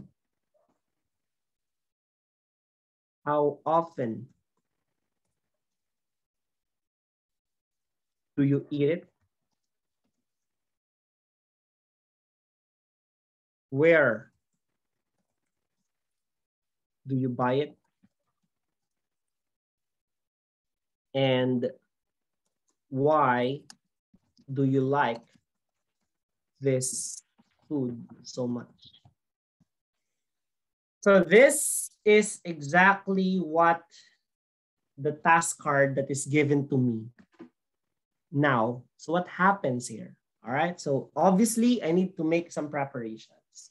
So talk about your favorite food. The first thing that comes to your mind, food must not be in Filipino. All right. Because there's a problem. If the answer to this is in Filipino, you're not basically answering in English. And that's misuse of vocabulary. Well, sir, what if I would like to answer adobo as my favorite food? Can I say adobo as my favorite food? Actually, yes, but you have to translate. So what is the meaning of adobo in English? This is basically vinegar braised um, pork or chicken. So vinegar braised pork or chicken. That is adobo. Or what about uh, sinigang? We're going to convert sinigang first in uh, English. Uh, sinigang would be um, royal meat in tamarind soup. Um,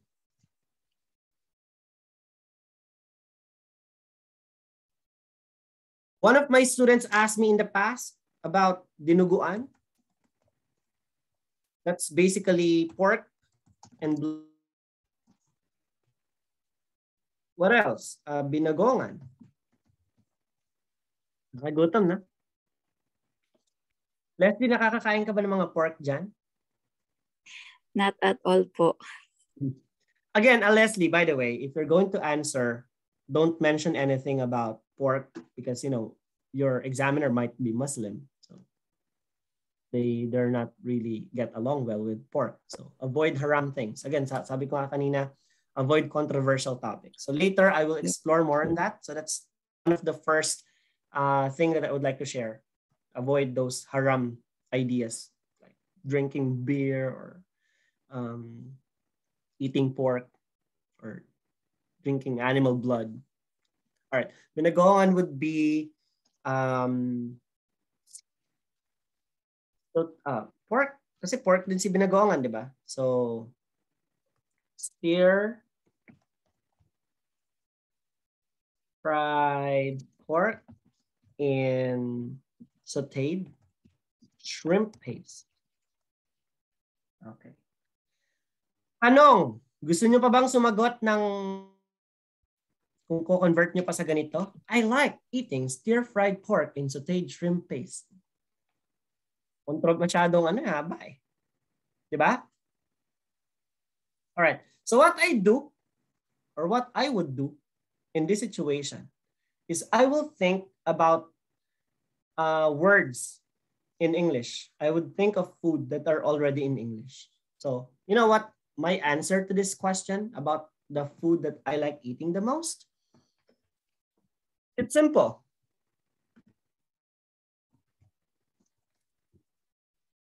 So what is this food I'm going to explain? It's a dairy product. Made of milk, definitely. How often do I eat it? Well, when I was younger, about three times a week. But now, I only eat ice cream uh, once every two weeks. Where do I buy it? You have the convenience store. You have uh, grocery shops. You have fast food restaurants. You have many ways to purchase ice cream. Uh, why do I like this food so much? Tasty. It's a, a cold treat. It makes me feel relaxed. All right, the examiner said, Kevin, your one minute preparation time is over. So what happens here? Okay, let me remove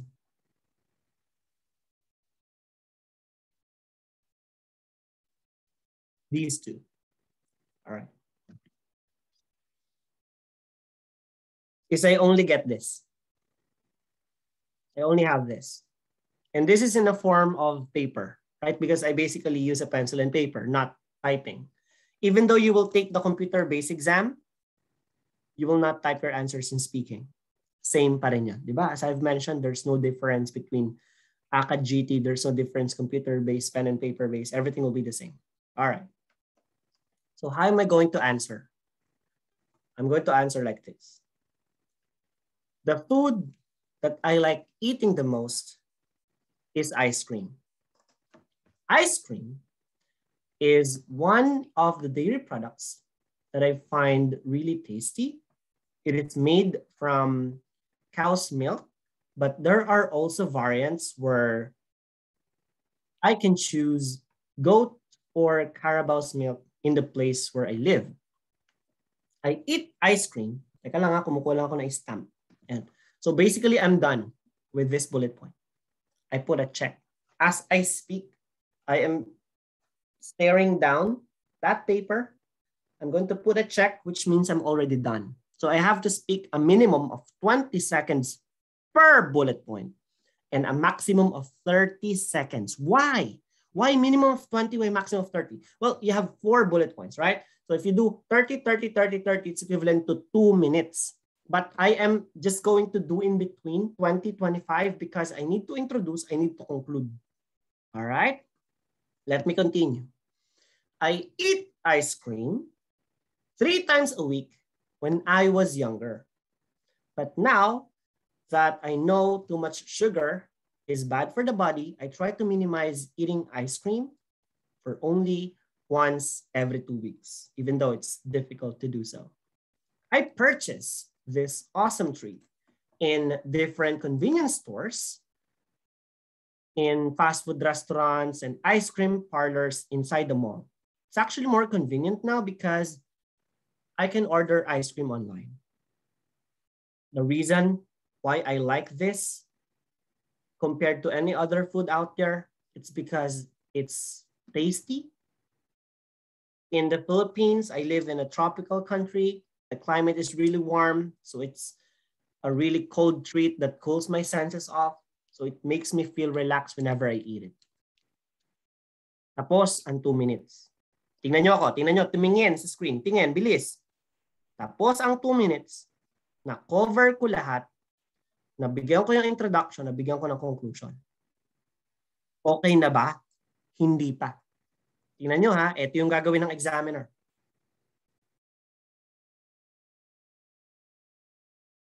So what does that mean? It means that your examiner is not yet satisfied. So I'm going to add another discussion related pa rin kay ice cream. So what am I going to add? I'm going to talk about the past. I'm going to talk about the present and the future of the topic. So I will choose past. All right. I will choose a past experience. And what I chose will be the first time I ate ice cream. Well, I remember the first time I ate ice cream, I was with my mom. She found out that I was in the top of my class. I was, uh, if I'm not mistaken, in kindergarten that time. So she treated me with this strawberry ice cream, and uh, I can't forget how it tasted. That's why whenever I feel down, I choose the strawberry flavored ice cream more than any other flavors out there. Tapos, sabi ng examiner, hindi pa rin daw siya satisfied. So what I'm going to talk about would be the events about the topic. Anong event yon? All right. Ice cream is also one of the common delicacies being served at many different occasions, particularly in children's birthday parties. I also remembered when I was young, the ice cream vendors used to ride these bicycles with a very colorful umbrellas. That's how we can distinguish that they are the ice cream vendors because they have those colorful umbrellas and they have their bells so that I and uh, my friends will immediately know that they were the ice cream vendors because they ring this bell and then we run towards them. So it's really a very magnificent experience that I have um, in the past. Sabi ng examiner. Okay. So did you see guys that? Did you see how I did that? I did not only cover the four bullet points, but I also um, read the examiner's body language. Sir, why are they doing that? Okay? I just want to highlight this. Bakit po ginagawa ng mga examiner yung ganun? Because examiners are trying to help you. Hindi nila pinapahirapan ng buhay niyo. Tinutulungan nila kayong pumasa. Yes, Leslie, you raise your hand. Sir, instead of um, enumerating one, can we add more aside from ice cream instead? Hmm. That's that uh, possible? that is something that I would like to also add. The question is your favorite food. So why would you answer two, three variants of different types of food? Eh, ang tanong lang naman, favorite food. So th- it makes it confusing, Leslie. Sip mo, sinabi mo ice cream, tapos favorite mo din yung cake, tapos favorite mo rin yung lechon, di ba? So ano na yung bibigyan mo dun ng um, how often do you eat it? Where do you buy it? Why do you like it so much? Tatlo yung kailangan mo ipaliwanag. It makes it very confusing. Right, Leslie? Okay po. Okay. Halimbawa, tinanong ah, um, what is the last product you purchased for yourself? Eh, ang dami mong binili eh. Pili ka lang na isa. Para dun lang tayo magpo-focus. You don't have to tell everything. You just have to pick one. And that one that you will choose is something na sa tingin mo, you can talk more about. I can talk about a phone, which I bought for myself. I can talk about a flash drive that I bought for myself or this attire that I'm wearing right now, I bought for myself. But I have to pick one.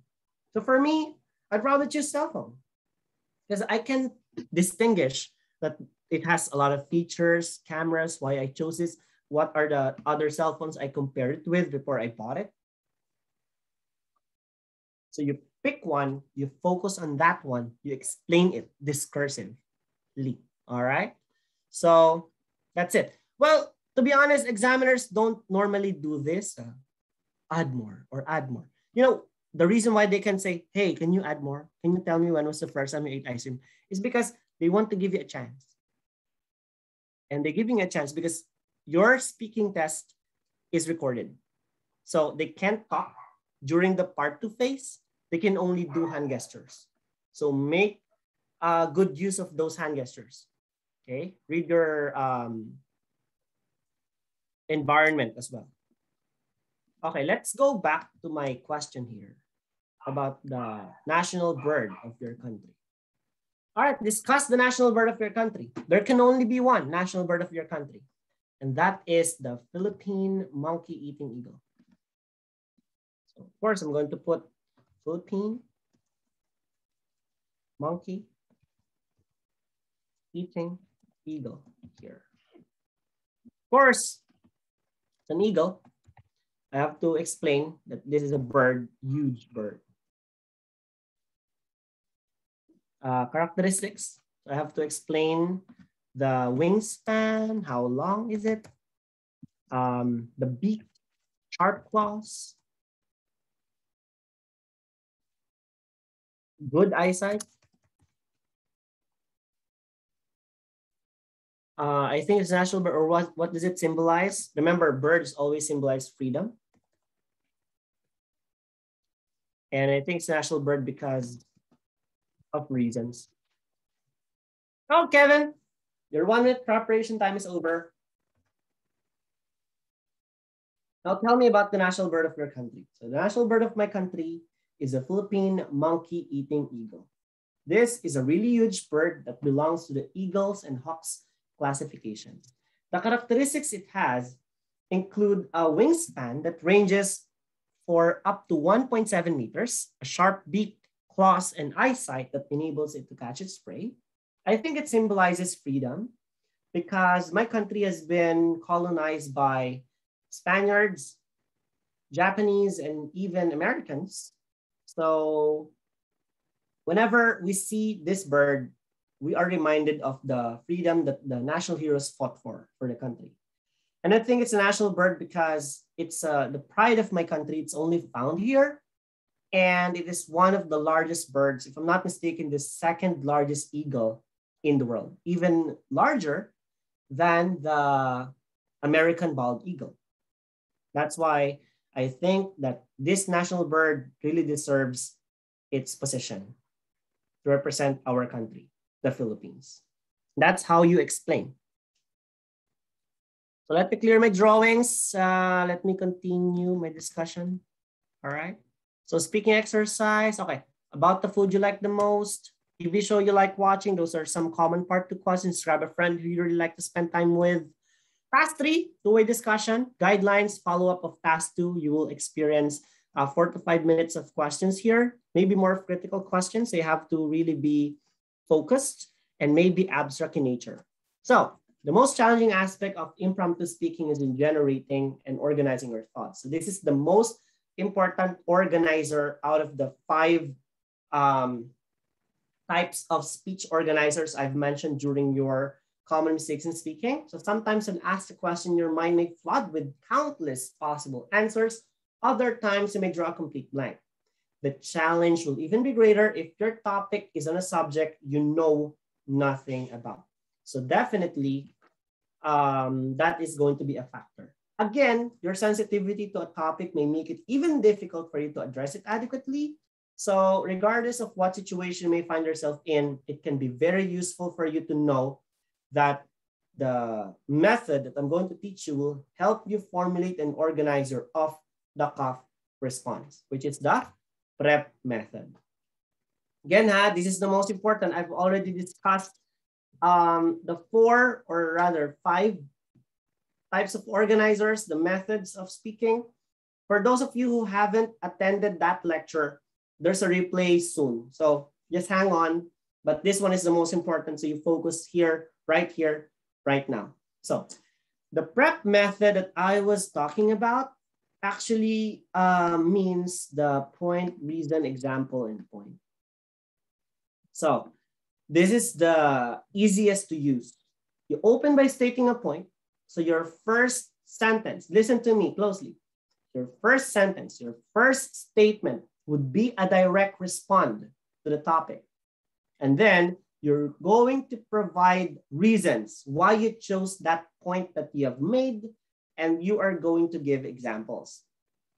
Lastly, your conclusion restates the point, uh, restates the point you have made first. So that is how uh, arguably the prep method works, okay? So we will be seeing how to do the prep method in action. So look at this. This is the question. Kevin, tell me something about a place where you would like to spend your holiday vacation. I am being asked directly, what place is this? So look at the point. Malta is a wonderful holiday destination. Question, did I answer the question directly with the first sentence I made? Yes, I answered the question, what is a place? I said Malta. Now I'm going to outline reasons. What is Malta? Basically, it is a country drenched in history and offers an abundance of activities for travelers. So now I need to mention the examples of those activities for travelers. There are churches, catacombs, and air raid shelters that date back to Second World War. They also have bastions from St. John's Knights. As a person who like going to the beach, I could also take a dive at one of the many wrecks or even take a dip in one of the many beautiful inlets and bays of this country. Those are the examples that I've listed. What about the conclusion, the summary? Of course, these are just some of the things Malta has to offer. It really is a wonderful holiday destination. That is your point. Let's try what is your favorite fruit? Hmm. Let's do prep method here. Banana. Banana is the fruit that I like eating the most. Anong reason? Because this fruit is good for digestion and helps in replenishing the electrolyte imbalances of the body. For example, when I go to the gym, I always put a banana or two in my bag so that I can get a healthy snack. That is why I think banana is really a healthy fruit. That is the reason why it's my favorite. Okay. Color. What's your favorite color? The color that I like the most is crimson. For me, crimson is a color that represents confidence.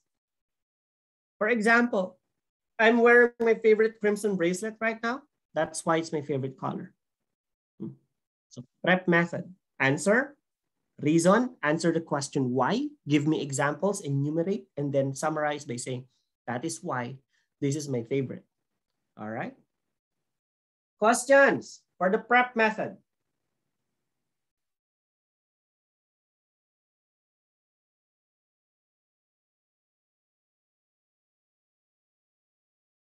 Okay.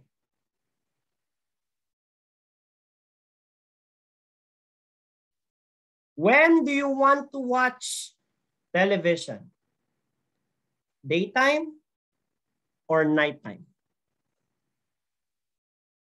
Correct method.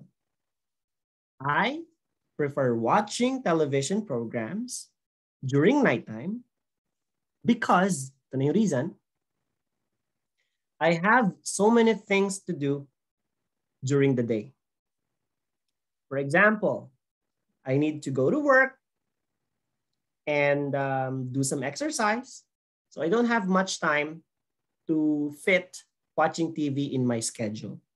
But when nighttime comes, I need to get information about the, the news.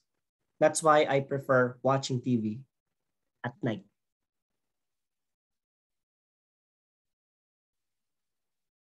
That is how you should answer questions in the exam.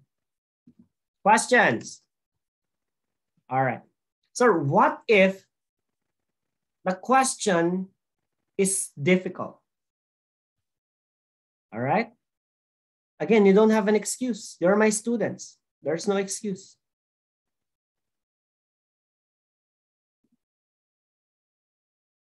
Okay.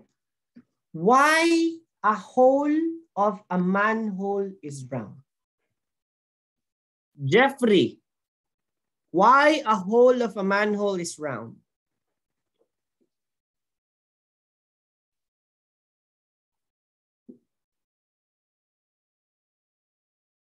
Leslie. Why a hole of a manhole is round?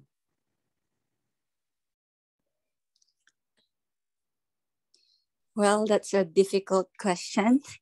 And uh, I In the exam, to- Leslie, you don't say, well, it's a difficult question. You don't say that. to do First- it properly, sir. Yes.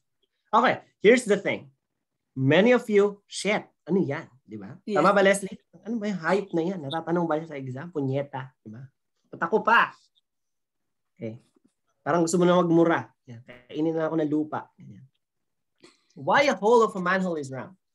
If you don't know the answer to the question, here's how you can get out of the situation. Tell the examiner, I'm sorry.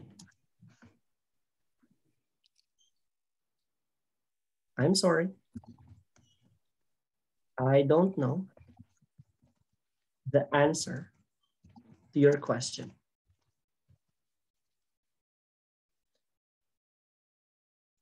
But when I get home today, I will do my research about it. Okay, let me ask you again, Leslie. This time, answer using the one, one uh, on this text that I typed. So Leslie, why a hole of a manhole is round? I'm sorry, sir. I don't know the answer to your question, but when I get home today, I will do my research about it. Very good. That's it. You become honest. You be honest to the examiner.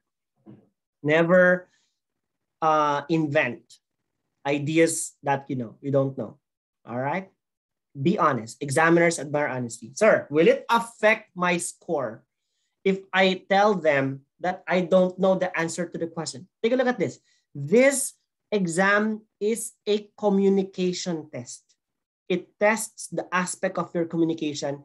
It doesn't check whether your answer is accurate or not because we have differences in our answers. Like my favorite color might be red, your favorite color could be orange, or um, Jocelyn's favorite color might be blue. We don't know. We have variations here.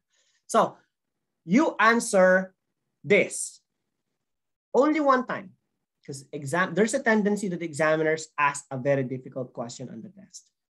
You tell the examiner, I don't know, but you still have to communicate by saying that you will do your research about it. So there were many variations. You can do, um, unfortunately, can do unfortunately. My knowledge about manhole is limited, but as soon as I get home today, I will definitely do my research about it.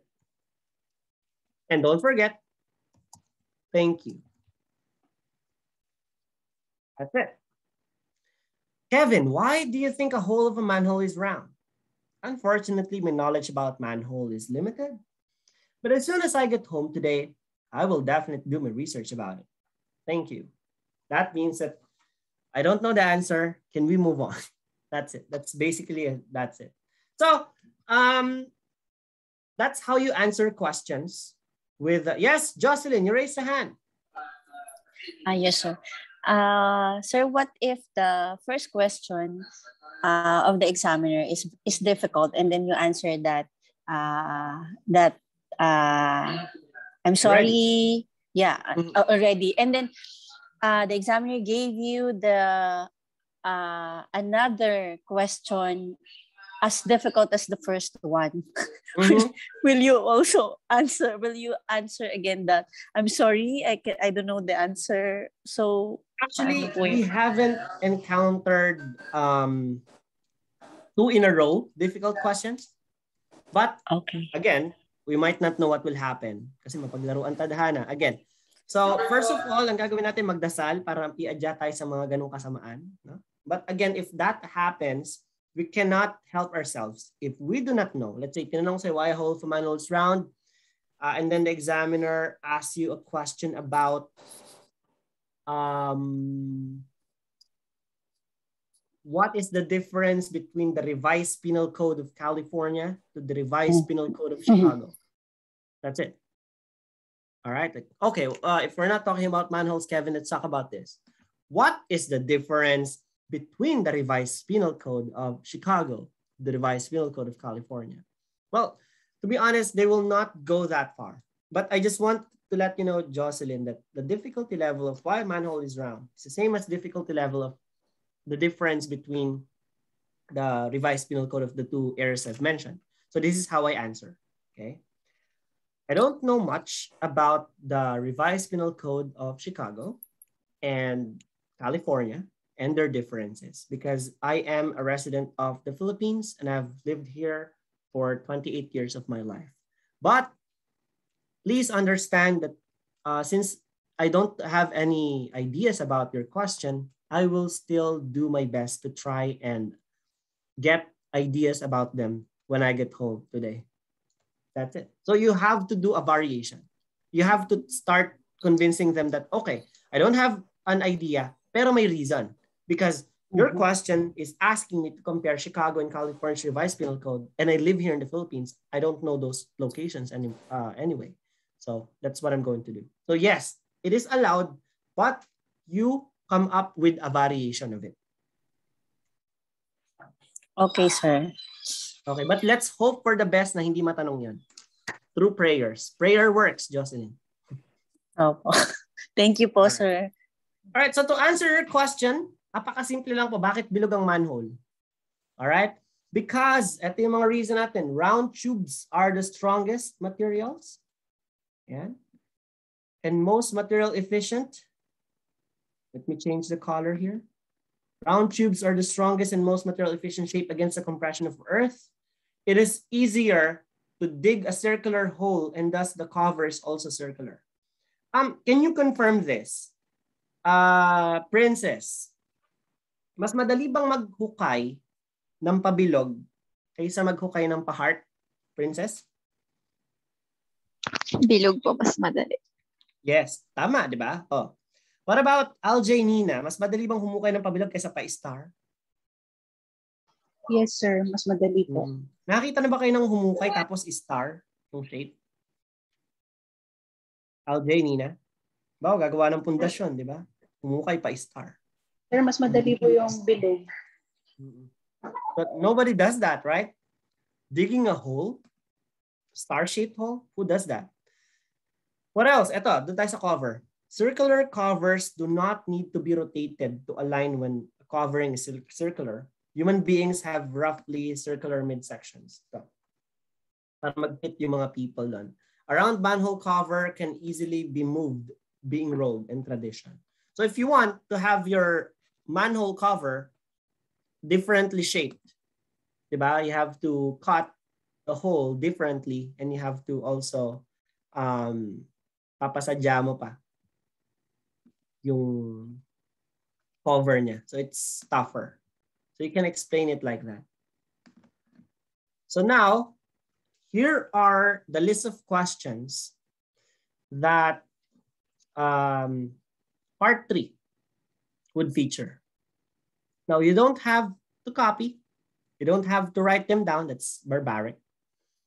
I will be posting this on our Facebook group later. Is that okay with you guys? Yes, sir. Yes, or does sir. any one of you want to copy it right now? If you want, go on. All right. So I'm going to pick questions and I'm going to ask you one by one. This is the part of the test that I like. This is the part of the review that I like. This one, simulan natin sa baba. Kay Jao. Jao, are you with us? Yes, sir, I'm in. Okay. Jao, my question is number 11. What are the things that you like in the city? Well, in fact, due to the globalization, nowadays we experience a lot of um, improvement in terms of facilities. Well, in our city, I would like the improvement of the convenience store because it is now Mhm. more comfortable and efficient in Okay, thank you, every Jao. But the first statement is something that I would like you to change. Because the question is, what are the things like in the city? So you can answer simply by saying, there are many things that I like in my city. Simple as that. Diba? There are many things that I like in my city. Number one, the malls are very accessible. The highways are improved. And Again, sabi mo, a convenience store. Diba? So that's the first thing. You affirm. You tell the examiner that, yes, I actually have many things that I like in the city. What are the things that you like in the city, Jao? sorry, sir. What are the things that you like in the city?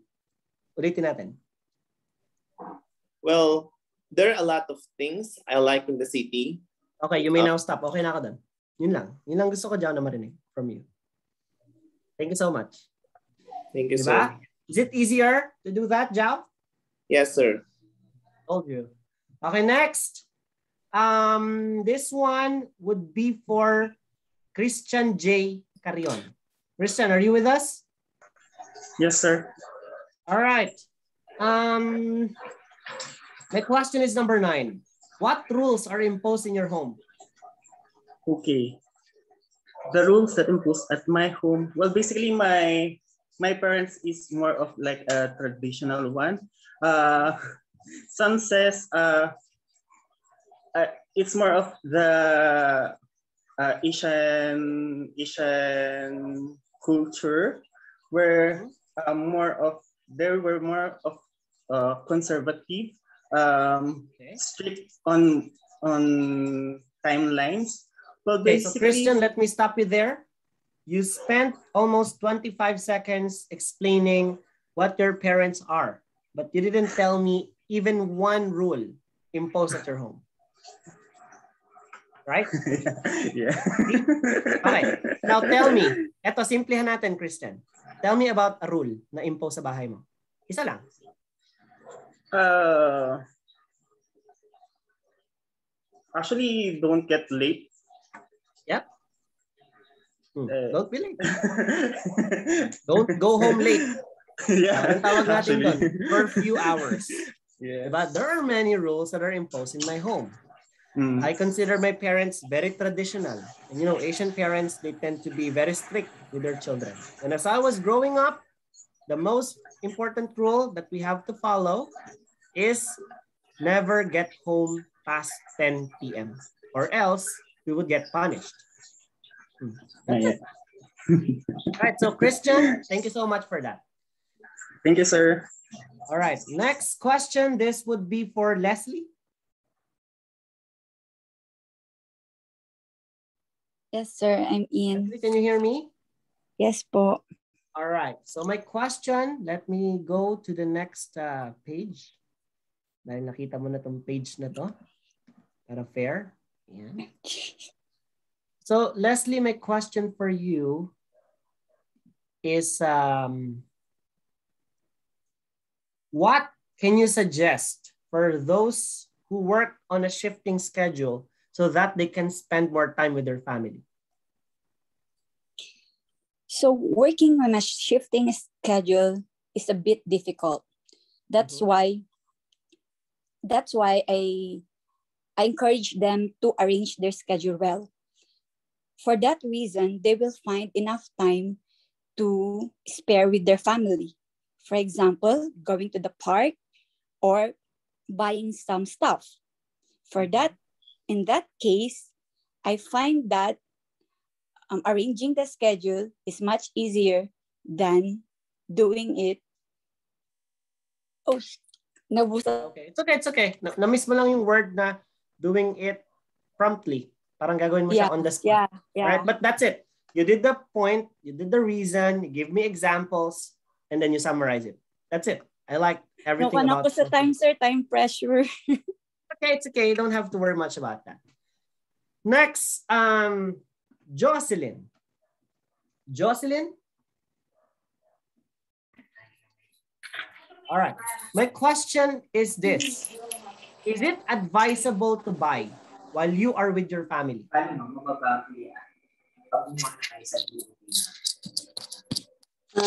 I think, sir, that it is advisable uh, to purchase anything together with your family. So they, it's not only you who will decide to purchase the thing, but it's a, uh, it's with a family member. Yes, that's very creative. I like how you answer, Jocelyn. Good job. Thank you, sir. All right, Jeffrey, are you with us, Jeffrey? Yes, sir. Nag-iisip nga ng balay. All right, Jeffrey, here it is. You know what? I'm going to ask you this question. What you remembered most in your school? Number 31. A memory, very memorable experience. Or a teacher that you had. Pwede bang Tagalog, sir? Ah, no. I need you to exercise speaking in English as early as now. So no matter how simple your sentences are, it's okay, Jeffrey. Uh, trouble, sir. Trouble? Yes, sir. The, the idea that you remember most in your school is trouble? Yes, sir. Hmm. I Big wanted to trouble. choose something else. Because, you know, when you talk to the examiner about trouble or how troublesome you are when you were younger, you know, ano yun? Parang pag-uusapan nyo lang tungkol sa suntukan, di ba? Or away. Think of something else, yung masaya. Field trip. Tingin mo ba, Jeffrey, memorable ang field trip? Hindi ako sir sumasama sa ganun. Okay, ano pa? Um, ano pa ba? Nakapagpunta na ba kayo sa ano? Nakapag-participate ka ba sa mga school ano? Um, Ah, school sports, sir. activity? Yes, sir. Yes, sir. Sports. Oh, di ba? Pwede yan. Hmm. Playing volleyball, basketball. Yes, sir. Nalo ba kayo? Yes, sir. Oh, di ba? That's it. Oh. The thing that I remember most when I was still studying was when I won championship of basketball together with my friends. Pwede ba yan, Jeffrey? Yes, sir. O sige, let me hear it. Uh, I remember most in uh, In my school? in school, eh, I champion in volleyball Mhm. and basketball. Okay. What year was that, Jeffrey? Can you remember? 2008, sir. You can add that. Diba? In 2008. Para mas mahaba. Diba? The longer the, the statement, the better. Thank you so much for that, Jeffrey. Thank you, sir. All right. Next question would be for, I think meron pa ako isang page. Uh, Try pa ako dito eh. Ano lang pala. All right. Favorite part of the house when you were still a child? Aljay, I have this question for you. Number one, I want you to answer me your favorite um, part of the house when you were a child. Sir, wala po si Alden. Ay, wala. Pumasok na ba siya, Nina? Sinama po sandali ng kapatid niya. Ah, okay. Sige. Oh, Nina, ikaw. What is your favorite part of the house when you were a child? My favorite part of the house when I was a child is the garden because I can play with my friends in the garden, especially Is it still the same favorite part of the house that you have right now, or is it different now that you are a grown up? Yeah, it's still the same. Oh, that's nice. So thank you so much, Nina. Yes, thank you, sir. Okay, so who else? Princess. Princess. Princess, princess. I have this Sir. question for you. Um, my question for you would be, how do you feel when it rains? Yeah. Actually, rainy season is not my favorite weather because I find I find myself lazy and unproductive. Mm-hmm. Also, it also it it makes my mood down. Okay. So you know, princess, many people find it difficult to exercise when it rains. Are there any exercises you can suggest those people when it rains? Well, I think it it depends on their preference. You know, I can please people, but my advice would be try to be productive, even though it's rainy season. How, how how people can do that? How do you think they can do that? Um, by starting their day with hot coffee and you Mhm. know a, mot- a motivational quotes from their uh, diaries or Bible books. Okay, thank you so much, princess. Masyado kang nahiyain. Ano? Parang I don't want to tell them what they need to do. Be, ano, be active. Tell them, I think, that the activities that people can do even when they're inside the house will be doing household chores. Diba? Kasi hindi nga sila makapag-exercise sa labas eh. So they can do some stretching inside the house or they can perhaps help in household chores. Wala na ba? So Jeffrey, Jocelyn, Leslie, natanong ko na pala lahat. Okay. So, final words. All right, let us uh, proceed to the final words. So which do you prefer? Okay, pay attention to the question and listen carefully. Answer immediately in as much detail as you can. So the promptness of your ability to respond to question is also going to be measured. Explain your answers, draw on your experience, and give examples. All right, so you can use your experience, especially in part three. Experience matters. Speak like there's no tomorrow. We can be as talkative as you can.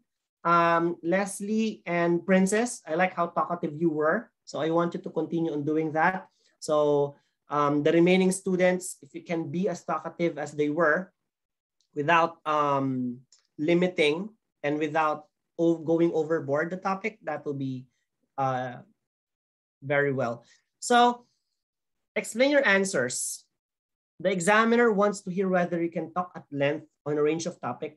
Remember, there's no right or wrong answer. Like the favorite color that I like is different from the favorite color of Jeffrey.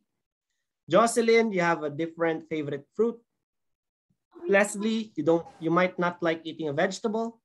I don't know, but we're different. So there's no right or wrong answer. But avoid controversial topics. So when you say avoid controversial topics, there are two things that I want you to avoid. I want you to avoid religion, and I want you to talk about um, politics as much as possible. Avoid, avoid, avoid. So tell me about the person you would like to meet in the future, the president of the Philippines. You don't say that because that's politics. Uh, a person that you would like to meet in the future, and then you mention um, the Pope. Don't tell that because that is uh, that is religion. So what is a song that you like to listen to? I like to listen to worship songs as much as possible. Avoid religion, avoid politics, because we want to avoid controversy as much as possible.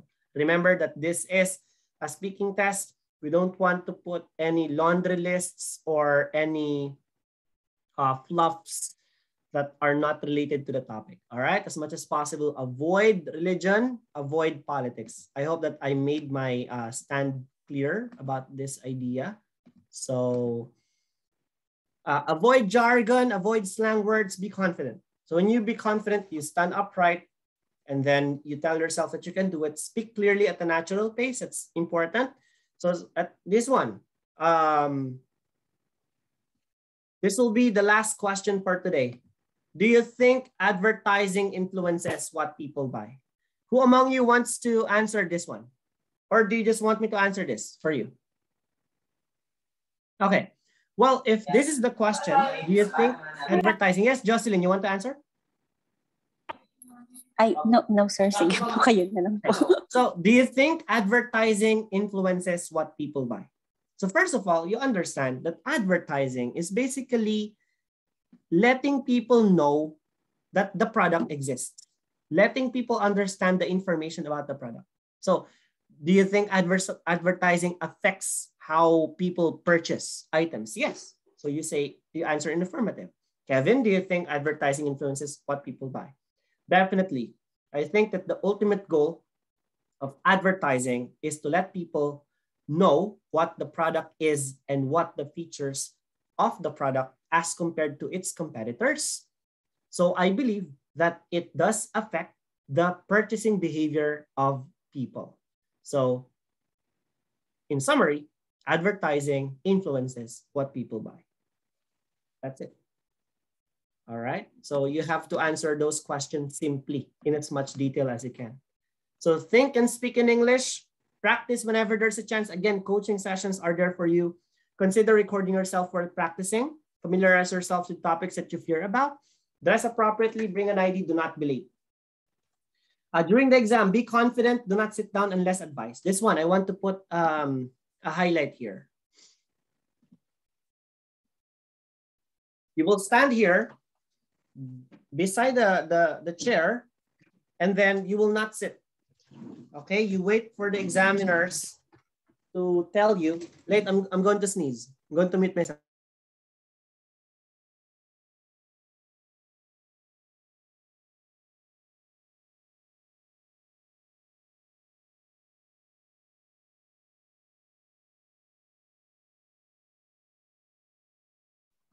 I'm back. All right. Nabahing ako. All right. So do not sit down unless advised. So never sit. Let the examiner tell you, please sit down. And when the examiner does tell you to sit down, let the examiner know, uh, thank you. Tell them that you're uh, thanking them because they let you sit. Right? So please sit down. Then sit slowly. Tell the examiner, thank you. All right. Establish a connection with the examiner. Eye to eye contact Organize thoughts and have presence of mind. Avoid short answers. Always try to expound. Always try to lengthen your discussion. Be assertive. This is your answer. This is what you believe in. You will not change your mind. Avoid repetition of words. Avoid using the words that examiners have already used. Do not hesitate to correct yourself. If you understood that you commit a mistake, change it right away. And then um, do not be too self-preoccupied later. So kung nagkamali ka, accept that you have committed a mistake, correct it, and then move on. Okay? Use the correct verb tense and do your best.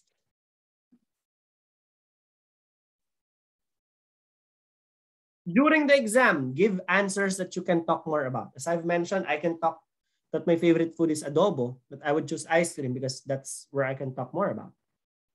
Again, no right or wrong answers. The examiner will assess on how well you performed, uh, how you can express your ideas and opinions in good English. Imagine you're talking to a friend. So your tone must sound a bit friendly, not too formal. So you're trying to befriend the examiner. Yes, Leslie. Sir, is it okay to do hand gestures like what you're doing while we're talking? Yes. yes. Actually, hand gestures allow candidates to be more confident. It helps themselves loosen up. But we don't want to overdo hand gestures. Hi, my name is Kevin. Pakalikot naman, umpisa pa lang, ano kasi Karate Kid, di ba? Uh, Jackie Chan. So, we use hand gestures to, if we want to make our points heard. So, it this is actually what I teach in pronunciation major. Okay? So pag nasa pronunciation tayo, I will teach the importance of hand gestures and eye-to-eye contact and uh, head movement, how it accentuates the, the effect of your uh, speech because it it adds to the impact. So if it's if your vocal preference is about 30%, your body language speaks like 70%. It's actually established uh, research So we use hand gestures because according to research, people who does hand gesture, uh, people who do hand gestures, according to the listeners or the readers, they look more confident. And we want to look confident in front of the examiner. So you can use hand gestures when you require yourself to, okay? And again, body language, um, head tilts, head movements, eye movements, eyebrows, all those together, okay? All right. After the exam, do not ask for your score. Thank the examiner. Thank you so much. That's it. And then leave the room. Huwag namang ikaldabog yung, ano, yung pintuan. No? Dahan-dahan isarado. All right. Frequently asked questions. I know many of you guys have questions, but I'm, I have listed them, them down here. Can I choose the topic to be talked about? No. The examiners will be the one to facilitate asking of the question. You will be the one to choose. So we don't know what questions you will get asked, but it is important that you prepare beforehand by looking at our Facebook group and um, looking at what the questions are that the frequently asked questions of my students before. Do we really need to talk for two minutes in task two? Yes, actually you have to speak more. You have to speak much longer than two minutes. If you can talk for uh, two, two minutes and 20 seconds, do it.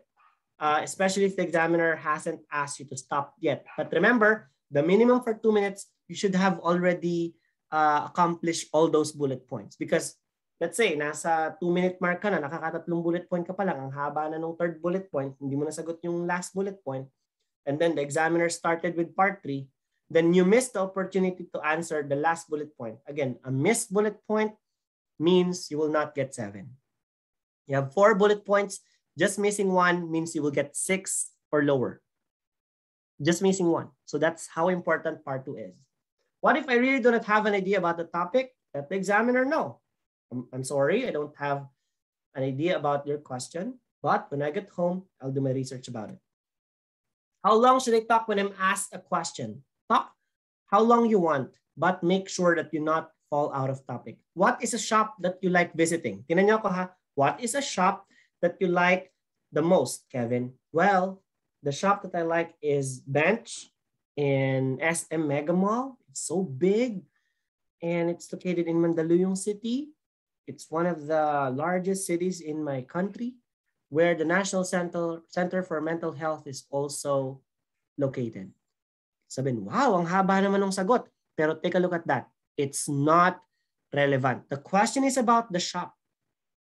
I don't want to know about the mall or where the mall is located or whether the National Center for Mental Health is located. What I need to know is why do you like this shop compared to any other shops that sells the same thing?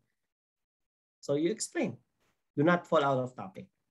Should I keep on talking until the examiner asks the next question? Yes. Speak as if there's no tomorrow. Talkativeness, promptness um, will be assessed here. Is accent required in the examination? Actually, no. You do not have to fake your accent. You don't have, as much as possible, we avoid American accent. American accent is when you say gonna, yeah, cause, well. So when you when you do wanna, okay, those are the features of American accent. So accent must be neutral in the speaking test. All right. Next, what if I didn't hear the question clearly? ask the examiner to repeat the question, but in a very polite manner. Do I have to answer all the questions in task card? Yes, please. Your score depends on task two. It depends on task two more than anything in your exam. What are the topics that are usually asked during the exam? I have uploaded the uh, PDF, two PDFs already para sa yun, inyong uh, speaking. That would be the uh, that would be on my Google Drive already. Andun na lahat ng tanong. It's uh, 11 pages yung isa, nasa 25 pages yung isa. And I also post regularly ano yung mga nagiging questions sa mga students ko, both in the Philippines and other countries. So we have a list of the possible questions that you can get asked. So what you say is important, grammar, vocab, fluency, pronunciation, but how you say it also matters. Delivery, content, style, charisma, posture, gestures, and eye contact. So Final reminder is to practice and pray. So that will be the end of my lecture. I just want to add something, all right, about the requirements. Um, your requirements will now include a vaccination card. So keep your vaccination card with you. Uh, they didn't mention what vaccine are they only allowing for the test, but vaccination card is uh, already good. If you're going to take the exams in Nueva Ecija and uh, you are from Nueva Ecija, I believe that an antigen test will be required. Plus, you will also be required to um, to provide a declaration form, okay, from your barangay or your city health that you were not exposed to COVID for the past 14 days. So, and never forget the copy of the ID that you use for the exam. That is very important. So for the October test takers, November first week test takers, those are important things to remember. So we will be uh, uploading some informative uh, posts, some infographics on the group so that you will get reminded what are the things. We're just clarifying pa kasi, no? Uh, we're still clarifying um, what is the complete requirement for the test this coming 23rd and 30th of October in Cabanatuan City. And you know, the requirements vary depending on the place where you take the test. So that's it. But if you are vaccinated, then you will be uh, required to bring your vaccination card with you during the test.